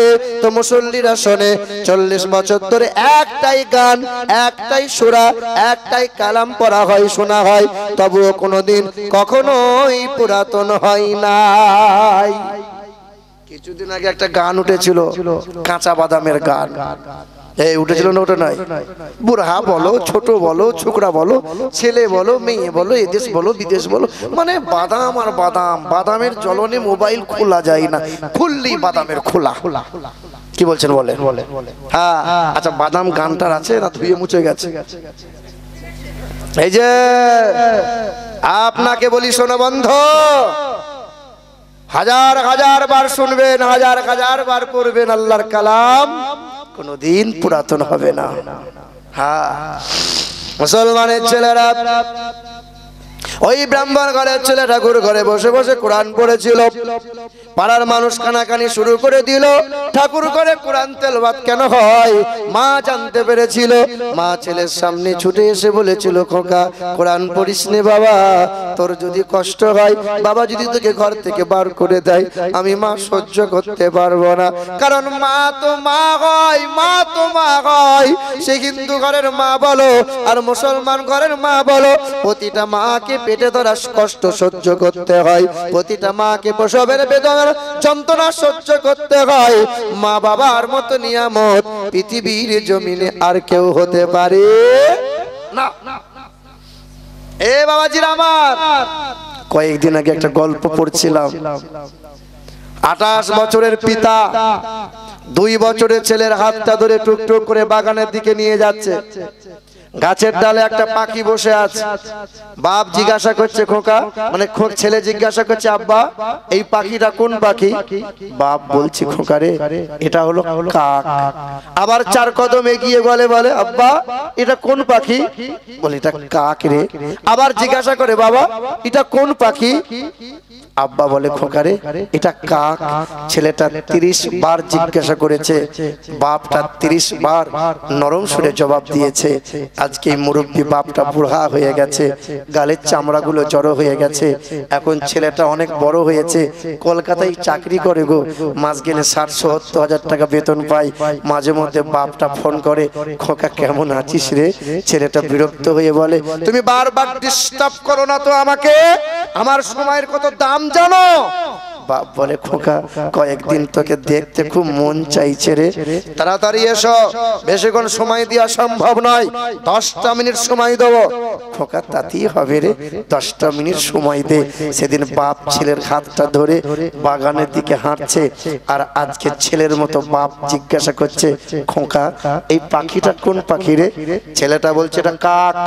আবার দ্বিতীয়বার জিজ্ঞাসা করেছে খোকা এটা কোন পাখি রে? তখন ছেলেটা বলে বুড়ো ধাম কোথাকারে তোমার চোখের পাওয়ার কি কমে গেল নাকি? বছরে বছরে চশমার পাওয়ার বাড়াতে হয়, লজ্জা করে না?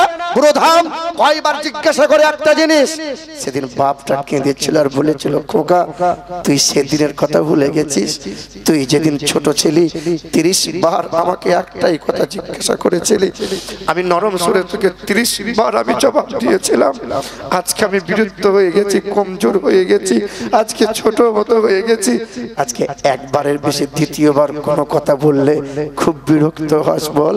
বল। খোকা কিছুদিন আগে জানেন মালদা গিয়েছিলাম কোনো একটা জালসাতে একটা বাড়িতে আমাকে বসতে দিয়েছিল পাশের বাড়িতে একটু ডেকে পাঠিয়েছে আমাকে যুবক বলল হুজুর এই বাড়িতে একবার যাবেন? আপনাকে একটা মুরব্বী দেখা করতে চেয়েছে। আমরা চলো। তো মুরব্বীর বাড়িতে গেলাম। বিরাট দুই তলা বাড়ি অনেক রুম আমি একটা উঁচু মুড়াতে চেয়ারে বসে আছি আর মুরব্বী বাপটা দেখি ওই হেসেল ঘর মানে রান্নাঘর যেখানে একটা মশারি টাঙানো ছিল। মশারি ভেতর থেকে বুড়ো বাপটা মশারি তুলে বুড়ি মাটা মশারি তুলে টুকটুক করে আমার কাছে এলো। আমি মুরব্বীটাকে জিজ্ঞাসা করলাম মুরব্বী বাপ তুমি হেসেল রান্নাঘরে মশারির তলা থেকে কেন বেরিয়ে এলে? এত বড় তোমার বাড়ি? তোমার কি বাড়িতে ঘরে কি জায়গা হয়নি সেদিন মুরব্বী বাপটা হাসতে হাসতে কেঁদে ফেলল। আর মুরব্বী বাপটা চোখের চশমাটা খুলে বলল, জানিস খোকা, আমি খুব কষ্ট করে দুটো ছেলে মানুষ করেছিলাম। ছেলে দুটো আজকে বড় হয়েছে। বোম্বাই ভারতনগরে সোনার দুটো দোকান করেছে। মাস গেলে লাখ টাকা রোজগার করে। দেশের বাড়িতে দুই তলা বাড়ি করেছে। ওপর তলায় বড় বউ ছেলেরা থাকে, নিচ তলায় ছোট বউ ছেলেরা থাকে। আমরা বুড়ো বুড়ির জন্য আর জায়গা হয়নি। তাই ছেলেটা বলেছে, এই রান্নাঘরে মশারি টাঙিয়ে নিয়ে ঘর বানিয়ে জীবনটা পার করে নাও। বেশি আর আশা করিও না বুড়ো বয়সে। তাই আমরা বেশি আশা আর করি না এরে খোকা ওই মশারি টাঙিয়ে রান্নাশালাতে দিন কাটিয়ে নেই। শোনন, ঈদের তিন দিন আগে বড় বউটা ফোন করেছিল বড় ছেলেকে শুনছ তুমি ঈদে বাড়ি আসছো? বলে হ্যাঁ আমি যে তোমাকে ফর্দ কষে দিয়েছিলাম মনে আছে? স্বামীটা ভারত এই বোম্বাই থেকে বলছে, তোমার জন্য আমি লাল টুকটুকে বেনারসি শাড়ি নিয়েছি। তোমার মায়ের জন্য তাঁতির শাড়ি নিয়েছি, তোমার আব্বার জন্য ভালো একটা দামি পাঞ্জাবি নিয়েছি, তোমার বোনের জন্য একটা চুড়িদার নিয়েছি, তোমার ছেলে মেয়ের জন্য জামা কাপড় নিয়েছি, সব নেওয়া হয়ে গেছে। এবার একটু শখ করে, পছন্দ করে আমার আব্বার জন্য একটা পাঞ্জাবি নেব আর আমার আব্বার জন্য, মায়ের জন্য একটা শাড়ি নেব। সঙ্গে সঙ্গে ওই যে ওই যে হাজি বিবি হয়ে ঘুমটা কেটে বসে আছে, কলঙ্কিনী মহিলাটা, ওই মহিলা সেদিন ফোন করে বলেছিল, তোমার কি টাকার কুট- কুটুনি ধরে গেল? বড় বাপ মায়ের জন্য টাকা কেন খরচ করবে? এবছরে তোমার ছোট ভাই কিনবে বলেছে, এক পয়সা খরচ করো না। সেদিন ছোট বউটা ফোন করেছিল, শুনলাম নাকি তুমি বাপ মায়ের জন্য জামা কাপড় কিনবে? টাকার কি তোমার ছড়িয়ে যাচ্ছে নাকি? এক টাকাও খরচ করিও না। এবছরে তোমার বোনটা জামা কাপড় দেবে বলেছে, ঈদের দিনে সকালবেলায় সবাই গোসল করে নতুন জামা কাপড় পরে হাসতে হাসতে ঈদের নামাজটা পড়তে চলে গেল। ফ্যানটা বন্ধ করে দাও তো। সেদিন মুরব্বী বাপটা, সেদিন মুরব্বী বাপটা দাঁড়িয়ে আছে। আব্দুর রহমানের মা বলছে, কই গো, তুমি আজকে ঈদের নামাজ পড়তে যাবে না? বেলা যে বয়ে যাচ্ছে, তুমি যাবে না? সেদিন মুরব্বী বাপটা বলেছিল, তিন দিন ধরে লুঙ্গিটা পরে আছি, তুমি তো একটু পরিষ্কারও করে দিলে না। কি পরে আজকে ঈদের নামাজ পড়তে যাব? সেদিন মা চোখ দুটো নিচু করে বলেছিল, তোমার দুটো ছেলের দিকে আমি তাকিয়েছিলাম।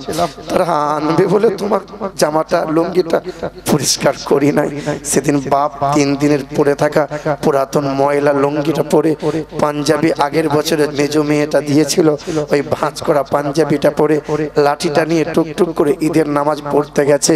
এই এই যে কুলাঙ্গার ছেলেটা বাপ মায়ের সাথে কথা বন্ধ করে দিয়েছে। ঈদের নামাজ পড়তে গিয়ে ইমাম সাহেবকে বলছি, ইমাম সাহেব, একবার বুকটা দেন তো, বুকের পাঁজরটা ভেঙে দেবো, দেন। সবার সাথে মুসাফা করে। পাঁজরের সাথে পাঁজর মিলিয়ে দিয়ে চলে এলো।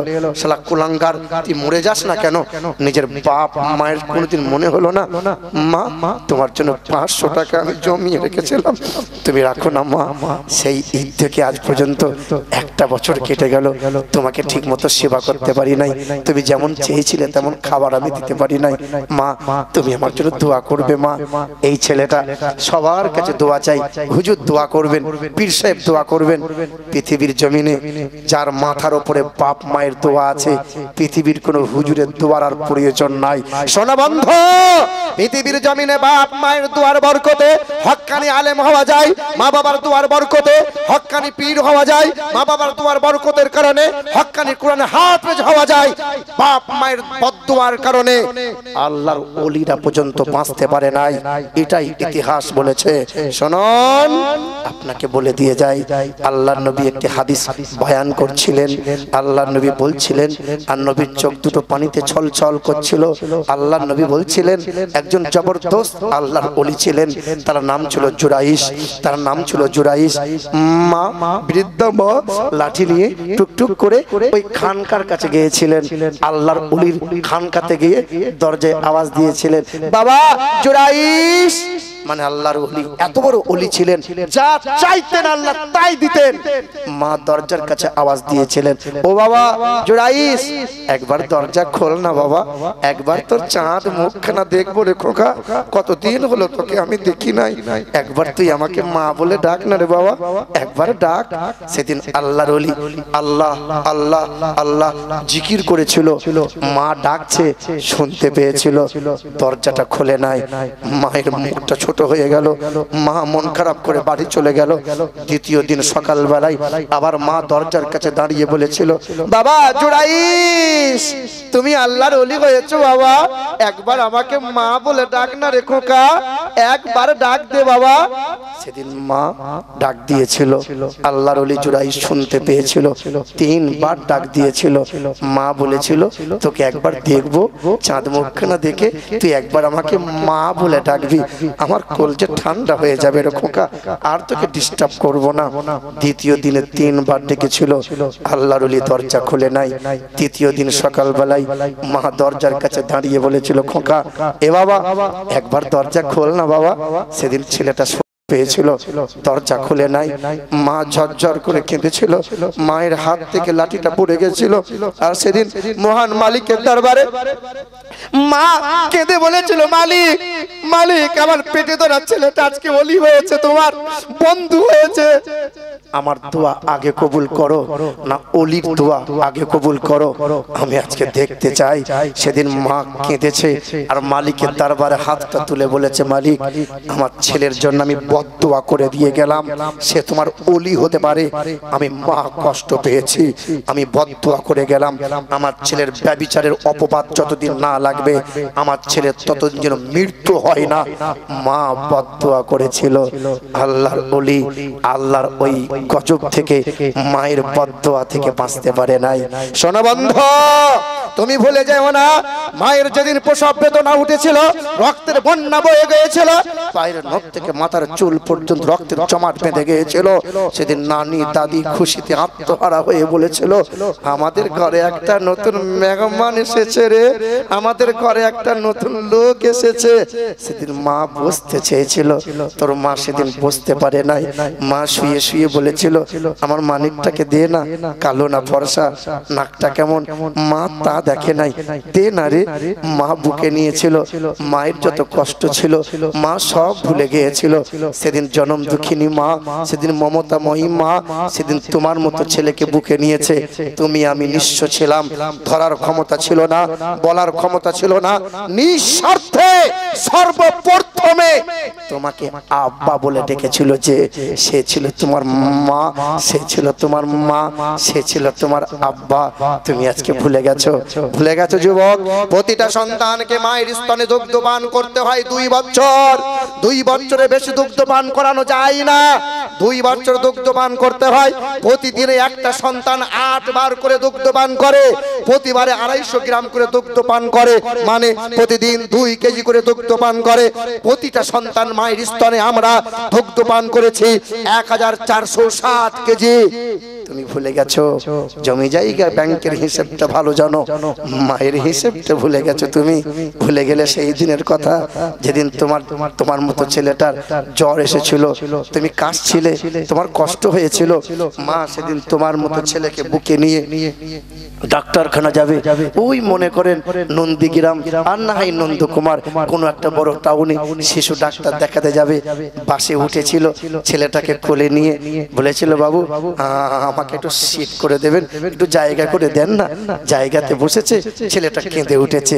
মা বুঝতে পেরেছে, আমার ছেলেটা বাসের মধ্যে দুধ পান করতে চাই মা তাকিয়ে দেখে পুরুষ মানুষগুলো সব আর চোখে তাকিয়ে আছে। মা সেদিন ইজ্জত দেখে নাই, মা সেদিন সম্মান দেখে নাই। বাসের মধ্যে চেহারাটা ঘুরিয়ে কাপড়টা তুলে তোর মতো ছেলেকে দুধ পান করিয়েছে। আজ তোর কাছে মা আর বাপ পর হয়ে গেছে না? পর হয়ে গেছে। সোনার টুকরো বন্ধুরা, আমার সুদী মানুষেরা, আমার কথা খুব বারবার বলতে মনে হয়। আমার যখন সাত, আট বছর বয়স ছিল, খুব ভালো করে মনে পড়ে। আমি আমার মায়ের আঁচলটা ধরে ঈদের দুদিন আগে বলেছিলাম, ও মা বাবুকে বলো না, আমার জন্য এক জোড়া জুতা কিনে দেবে, আর আমার জন্য একটা পাঞ্জাবি কিনে দেবে। বলো না, সেদিন মা বলেছিল, তুই বল না তোর আব্বুকে, তোর আব্বু কিনে দেবে। রোজার মাস ছিল, প্রখর রোদের তাপ ছিল। সেদিন মাকে বলেছিলাম, মা, আব্বুকে এখনও ভয় লাগে। তুমি একটু আমার আমার জন্য বলে দাও না। রোদের গরমে রোজার মাস, রোজা রাখো অবস্থায় আব্বা বাড়ি ফিরেছে। ঠান্ডা পানিতে হাত মুখটা ধুয়ে একটু বসেছে, আর অভাবের সংসারের সময় একবার দরুদ শরীফ পড়েন।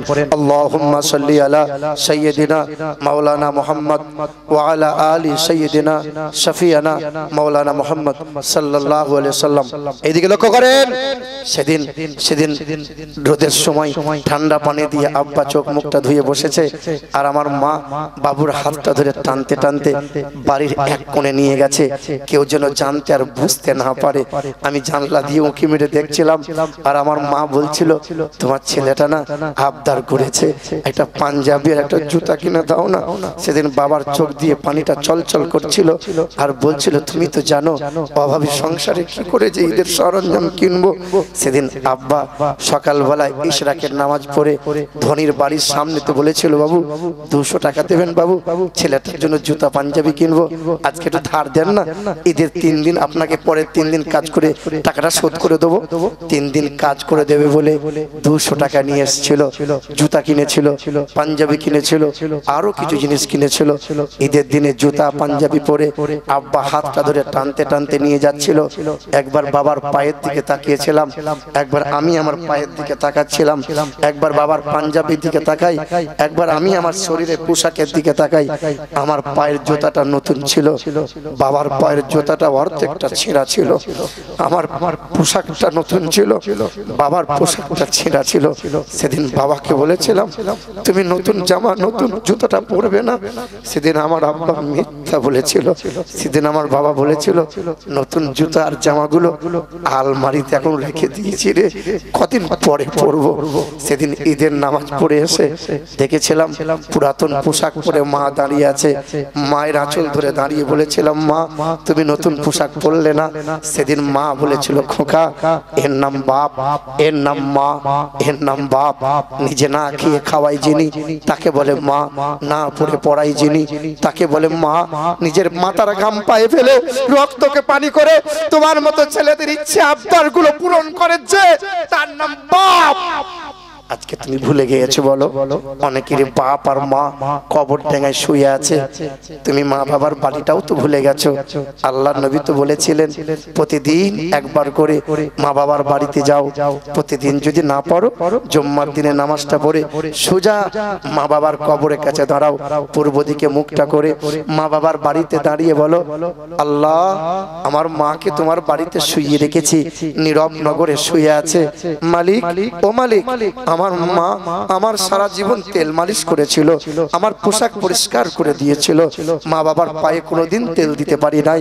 মা বাবার বিছানা কোনোদিন পরিষ্কার করে দিতে পারি নাই। সেদিন সন্তানটা যদি মা বাবার কবরের কাছে দাঁড়িয়ে এতটুকু তো করতে পারে। উম্মুল কোরআন সূরা ফাতিহা পড়ে তিনবার কুলু পড়ে দরুদ শরীফ পড়ে আল্লাহ পাকের দরবারে চোখের পানি ফেলে আর বলে মালিক আমার মা আজকে বাড়িতে নাই বলে আমার বাড়িটা অন্ধকার হয়ে গেছে নীরব নগরে তোমার বাড়িতে মাকে শুইয়ে রেখেছি। আমার মায়ের কবরটা জান্নাতের বাগান বানিয়ে দাও আমার মায়ের কবরে জান্নাতি হাওয়া তুমি দান করে দাও। সেদিন ছেলেটা কানতে দেরি, ছেলেটা হাত তুলে দোয়া করতে দেরি হবে। আল্লাহ পাক বলবেন, দেরি করো না ফেরেশতারা। তার মায়ের কবরে জান্নাতি হাওয়া, জান্নাতি মেওয়া, জান্নাতি খাওয়া, জান্নাতের বাগান বানিয়ে দাও, বাগান বানিয়ে দাও। মুসলমান পেরেছি আমরা। সোনার টুকরো বন্ধুরা, আমার সুদী মানুষেরা, তোমার পায়ে হাত রেখে বলি, বাপ মাকে কষ্ট দিও না, বাপ মাকে কষ্ট দিও না মুসলমান। শুনে রেখে দেন এই বামুন ঘরের ছেলেটা ঠাকুর ঘরে বসে বসে কোরআন পড়েছিল। বাবা যখন জানতে পেরেছিল, সেই সময় বাবা বলেছিল, কোরআন ছেড়ে দে! সেদিন ছেলে বলেছিল, সব ছেড়ে দেবো, কোরআন ছাড়বো না, নবী নবী করা বন্ধ করব না। কারণ নবীর প্রেমিক হয়েছিল, গলার পইতে বাবার হাতে তুলে দিয়েছিল, কোরআনটা বুকে নিয়ে হাসতে হাসতে কালেমা লা ইলাহা ইল্লাল্লাহ মুহাম্মদ রাসূলুল্লাহ, কালেমা পড়ে ঈমান নিয়ে এসেছে, আর ওই ছেলে নিজের নামটা পাল্টে নাম রেখে দিল, শহীদুল ইসলাম ভট্টাচার্য। আর ওই মানুষটা সকাল সন্ধ্যা কোরআন পড়েছিল, একটা বই লিখে দিয়ে গেল। বইটার নাম হলো বেদ পুরাণে আল্লাহ মোহাম্মদ। ওই যুবক মানুষটা জামানার বিখ্যাত একজনা, আল্লাহর অলি হয়ে গেল। আপনিও তো পারেন বাবু, আপনিও তো পারেন। কেন পারবেন না? শোনেন। নবীর মোহাব্বত অন্তরে জাগিয়ে রাখেন। শুধু আল্লাহ আল্লাহ করে নামাজ পড়েই আল্লাহ পাওয়া যায় না। আল্লাহ বলছেন, ইন কুনতুম তুহিব্বুনাল্লাহ ফাত্তাবিউনি ইহবিবুকুমুল্লাহ। আগে নবী নবী করো, নবীর ইত্তেবা করো, নবীর তাবেদারি করো, নবীর গোলামি করো। আমি আল্লাহর ভালোবাসা পাবে, ইহকালে নাজাত পাবে, পরকালে হাসতে হাসতে জান্নাতি হবে। এ মুসলমান, কোরআন নিয়ে আলোচনা করছিলাম। নবীজির উপর কোরআন কত বছর বয়সে নাজিল হয়েছিল? কে বলতে পারবেন? বলেন নবীজির বয়স কত ছিল? কোরআন নাজিল হয়েছিল নবীজির বয়স তখন কত ছিল? কত? চব্বিশ। আর কেউ জানে? চল্লিশ চল্লিশ কত? হ্যাঁ। আল্লাহ নবী তাইফের ময়দানে গিয়ে বলেছিলেন, লা ইলাহা ইল্লাল্লাহ, আনা রাসূলুল্লাহ। তাইফের মানুষরা বলেছিল, মোহাম্মদ, তুমি মরার জায়গা পেলে না। তুমি আব্দুল্লাহর বেটা মোহাম্মদ, হালিমার ঘরে কদিন আগে খেলা করছিলে, আজকে নিজেকে নবী বলে প্রচার করতে এসেছ। এখানে তোমার ঠাঁই হবে না, মোহাম্মদ চলে যাও। আল্লাহ নবী শরীরে সাদা রঙের পোশাক ছিল। তাইফের মানুষরা লেলিয়ে দিয়েছিল। ছোট ছোট বাচ্চাগুলো মোটা মোটা হুল হুল পাথর নিয়ে আঘাত করেছিল। আল্লাহ আল্লাহ রসুলের এ সাদা রঙের পোশাকটা ছিঁড়ে, চামড়া ফেটে, মাংসের মধ্যে পাথরগুলো গেঁথে গেঁথে গিয়েছিল আল্লাহ নবীকে বেঈমান টাইপের নিষ্ঠুর মানুষেরা এমন করে মেরেছিল যে নবীর মাথা ফাটিয়ে দিয়েছিল। আল্লাহ নবীর মাথা ফাটা রক্ত গড়িয়ে গড়িয়ে পায়ের খরমটা চামড়ার সাথে জমাট বেঁধে গিয়েছিল। আল্লাহ নবীর বয়স তখন একষট্টি হয়েছিল। তখন মা আইসা নবীর সংসারে সংসার করছিল। হঠাৎ করে একদিন আম্মা আইসাকে বলছেন আইসা ছুটে এসেছেন আর বলছেন, লাব্বাইক ইয়া রাসূলুল্লাহ, আপনি আমাকে ডাক দিয়েছেন। এ আইসা তুমি আমার কাছে এসো আইসা আম্মা আইসা ছুটে গিয়েছেন। আল্লাহ নবী বলছেন আইসা আমার শরীরে একটু হাত দাও। আল্লাহ নবী শরীরে হাত দিয়ে বলছেন নবী গো আপনার শরীরে খুব যে জ্বর গো নবী। সেদিন আল্লাহ রসুল বলেছিলেন আইসা রে একটু জাইতুনের তেল রাখা আছে একটু উষ্ণ গরম করে আমার পিঠে একটু মালিশ করে দেবে আইসা আম্মা যেন আইসা বলছেন ইয়া রাসূলুল্লাহ আপনি একটুখানি সময় দেন। আম্মা যেন আইসা সিদ্দিকা ছুটে গেলেন জাইতুনের তেলটা উষ্ণ গরম করে নিয়ে নবীর পিঠের কাছে দাঁড়িয়ে আছেন। নবীজিকে বলছেন, নবী গো, আপনি পিঠের কাপড়টা একটু তুলুন না। একটু তুলুন না গো নবী। আমি আপনার পিঠে একটু তেল মালিশ করে দিই। আম্মা আইসা সিদ্দিকা তেলটা নিয়ে নবীর পিঠে দিতে গেছেন। আল্লাহ নবী পিঠের কাপড়টা তুলে ধরেছেন। আর আম্মা আইসা সিদ্দিকার চোখটা চরক গাছ হয়ে গেছে। মা আইসা বলছেন, ইয়া রাসূলুল্লাহ, আপনার পিঠে খাল খাল গর্ত গর্ত, ঘায়ের দাগ দেখা যায় গো নবী। আপনার কবে পক্ষ হয়েছিল? আপনার কবে বসন্ত হয়েছিল গো নবী? সেদিন আল্লাহ নবীর বাক রুদ্ধ হয়েছিল। আল্লাহ নবী কেঁদেছিলেন আর বলেছিলেন আইসা রে আইসা নবীদের শরীরে কখনো পক্ষ আর বসন্ত হয় না রে আয়সা দশ বছর আগে তাইপের নিষ্ঠুর মানুষরা এমন করে পাথর মেরেছিল যে সাদা পোশাকটা ছিঁড়ে চামড়া ফেটে মাংসের মধ্যে পাথরগুলো কেঁদে কেঁদে গিয়েছিল রে আয়সা দশ বছরে কত সময় গুজরে গেল, কত মানুষ চলে গেল, আমি নবীর আমার শরীরের দাগগুলো এখনও মুছে যায়নি রে আয়সা আম্মা আইসা বলছেন, ইয়া রাসূলুল্লাহ, গর্ত গর্ত, খাল খাল, ঘায়ের দাগ এখনও রয়ে গেছে। আল্লাহ নবী সেদিন বলেছিলেন আইসা দাগগুলো রয়ে আছে। কেয়ামতের ময়দানে আমি মহান মালিকের দরবারে আমার পিঠের দাগগুলো দেখাবো। আল্লাহ দেখবেন, আল্লাহর ময়া হবে আর আল্লাহর দয়াতে, মায়াতে আমি আমার উম্মত, উম্মতির জন্য দোয়া করব আর আমার উম্মত, উম্মতিকে আমি সঙ্গে করে জান্নাতে নিয়ে যাব। সেদিন আল্লাহ রসুল আইসা সিদ্দিকার হাতটা ধরে সামনে নিয়ে এসেছেন। আম্মা আইসা সিদ্দিকা সামনে এসে থুতনি দিয়ে নবীর উড়ুতে মাথা রেখে বসে আছেন, আল্লাহ রসুল বলেছিলেন আইসা আমার দিকে একটু তাকাও। আইসা তাকিয়ে দেখো আইসা সেদিন আম্মা আইসা সিদ্দিকা রাজি আল্লাহ নবীর চেহারার দিকে তাকিয়ে দেখেছেন আর আল্লাহ নবীর চেহারার দিকে তাকিয়ে দেখছেন আর নবী বলছেন, দেখো, অল্প দিনের চুল আর দাড়িগুলো সাদা হয়ে গেছে। আম্মা আইসা বলছেন, আপনি খুব চিন্তা করেন। নবী বলেছিলেন আইসা রে সংসারের চিন্তা করি না রে আইসা আমার একটাই চিন্তা হয় আমার এই গুণাগার উম্মত উম্মতির কি হবে? আমার এই গুণাগার উম্মত উম্মতির কি হবে? এই মুসলমান সোনার টুকরো বন্ধুরা আমার বাবাজিরা ভাইরা আমার সেদিন আল্লাহ রসুল সাল্লাল্লাহু আলাইহি ওয়াসাল্লাম হাসরের কঠিন ময়দানে খুব মনোযোগ সহকারে শোনেন উম্মতের মায়ার নবী আমার মায়ায় পড়ে উম্মতের জন্য সারাটা জীবন নবী কেঁদেছেন আজও কাঁদছেন কাল নবী কাঁদবেন। সবাই আমরা শুয়ে থাকব। নবী আমার, সবার আগে নবীকে উঠানো হবে। আল্লাহ নবীকে যখন উঠাতে আসবেন ফেরেস্তারা ইয়া আল্লাহ আপনি উঠুন। আল্লাহ নবী ধর পড়িয়ে উঠে বলবে, আমার উম্মতরা কোথায়? আজকে আমার উম্মতরা আমাকে নিতে এলো না। আমার উম্মতরা কোথায়? ফেরেস্তারা বলবে, ইয়া রাসূলুল্লাহ, সর্বপ্রথম আপনাকে আগে জাগানো হয়েছে। আপনি উঠুন না। আল্লাহ নবী উঠবেন, চুলগুলো উস্কো খুস্কো থাকবে। নবীর চেহারাতে কাদা মাখা থাকবে কাদা মাখা আল্লাহ নবী বিল বিল করে কি যেন বলবেন। আর হাসরের ময়দানে ঘুরে ঘুরে ঘুরে ঘুরে আল্লাহ নবী ঘুরে বেড়াবেন। আল্লাহ রসুল সাল্লাল্লাহু তাআলা আলাইহি ওয়াসাল্লাম সেদিন আল্লাহ নবীর চেহারা দেখে আল্লাহ পাক বলবেন, হাবিবের জন্য মকামে মাহমুদ রেখেছি। আর আমার হাবিবের চেহারায় কাদা মাখা হাবিব যেন উম্মতের জন্য পাগল হয়ে গেছে। সেদিন ফেরেশতারা বলবে, আল্লাহ, অনেক নবী দেখেছি, অনেক পায়গাম্বার দেখেছি। এমন একজন নবী, এমন একজন রসুল। সারাটা জীবন জন্য কেঁদেছিলেন। নবী রওজা মোবারকে কেঁদে কেঁদে চোখের পানিতে মাটিগুলো ভিজে কাদা হয়েছে। কাদা মাখা চেহারা নিয়ে নবী হাসরের ময়দানে উঠেছে। আর নবী উম্মতি উম্মতি করে হাসরের ময়দানে ঘুরে ঘুরে বেড়াচ্ছে। আমার উম্মত কোথায়? আমার উম্মত কোথায়? আজ মুসলমান, সেই নবীকে চিনতে পারলাম না। সেই নবীকে চিনতে পারলাম না। যে নবী সারাটা জীবন আমার আপনার জন্য কেঁদে গেছেন। সারাটা জীবন যে নবী আমার আপনার জন্য চিন্তা করে গেছেন। হ্যাঁ নিজের পরিবারকে উজাড় করেছিলেন, নিজের সংসারকে উজাড় করেছিলেন, নিজের ছেলে মেয়ের ভাবনাকে উজাড় করে দিয়েছিলেন, কিন্তু উম্মত উম্মতিকে ভুলে যায় নাই। সে তো জানি, আগের বক্তা দু ঘণ্টা আমার বেলা আড়াই ঘণ্টা কেন? অবিচার কেন হবে? একজন বক্তাকে দু ঘণ্টা, একজন বক্তাকে আড়াই ঘণ্টা। আমাকে আড়াই ঘণ্টা দিতে পারতে।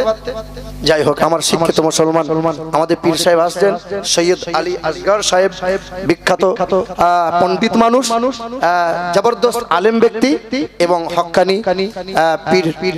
মাশাল্লাহ আপনাদের কপাল ভালো যে ওই রকম মানুষকে পেয়েছেন। সব সময় ওই রকম মানুষকে পাওয়া যায় না। সব জায়গাতে ওনার সুযোগও হয় না, আর সব জায়গায় উনি সুযোগ দিতেও পারেন না। আলহামদুলিল্লাহ উনি আসবেন মাশাল্লাহ আমার শিক্ষিত মুসলমান সুদী মানুষেরা যে ব্যক্তি নবীর প্রেমিক হবে আল্লাহ নবী বলেন মান আহাব্বা সুন্নতি ফাকাদ আহাব্বানি ওয়া মান আহাব্বানি কানা মাইয়া ফিল জান্নাত। যে আমার প্রেমিক হবে যে আমাকে ভালোবাসবে যে আমাকে ভালোবাসবে, ওই মানুষটা যে আমার সুন্নতকে ভালোবাসে, ওই মানুষটাই তো আমাকে ভালোবাসে। মানে শুধু মুখে ভালোবাসা বললে হবে না। আল্লাহ নবীকে ভালোবাসা মানে আমি নবীকে ভালোবাসি, নবীর সুন্নতকে ভালোবাসবো। আল্লাহ নবীর সুন্নতকে ভালোবাসবো। আল্লাহ নবীর সুন্নতকে ভালোবাসবো। আল্লাহ নবীর সুন্নতকে ভালোবাসবো। আমার নবী যেমন করে খেতে বলেছেন, আমি তেমন করে খাব। আমার নবী যেমন করে শুতে বলেছেন, আমি তেমন করে শোবো। আল্লাহ নবী যেমন করে চলতে বলেছেন আমি তেমন করে চলবো। আল্লাহ নবীর মতো মহাবৈজ্ঞানিক আর কেউ হতে পারে না। নবী বলেছেন, ডান কাত হয়ে শোও। কেন?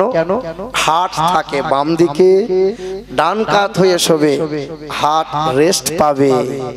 আল্লাহ নবী দেখেন, আমার রসুল সাল্লাহ সাল্লাম বলেন যে, তোমরা মৃত্যু মানুষকে কুলের পাতা দিয়ে গরম পানি করে গোসল করাও। কি পানি দিয়ে? কি বানিয়ে দিয়ে? কুলের পাতা, কুল কুল বোঝেন না? কি বলেন বড়ই না কি বলে? এই দেখেন, কুল কুল পাতা। আচ্ছা খেজুর পাতা আছে, জাম পাতা আছে। তা কুল পাতা দিয়ে কেন আপনি গরম পানি করবেন? হ্যাঁ?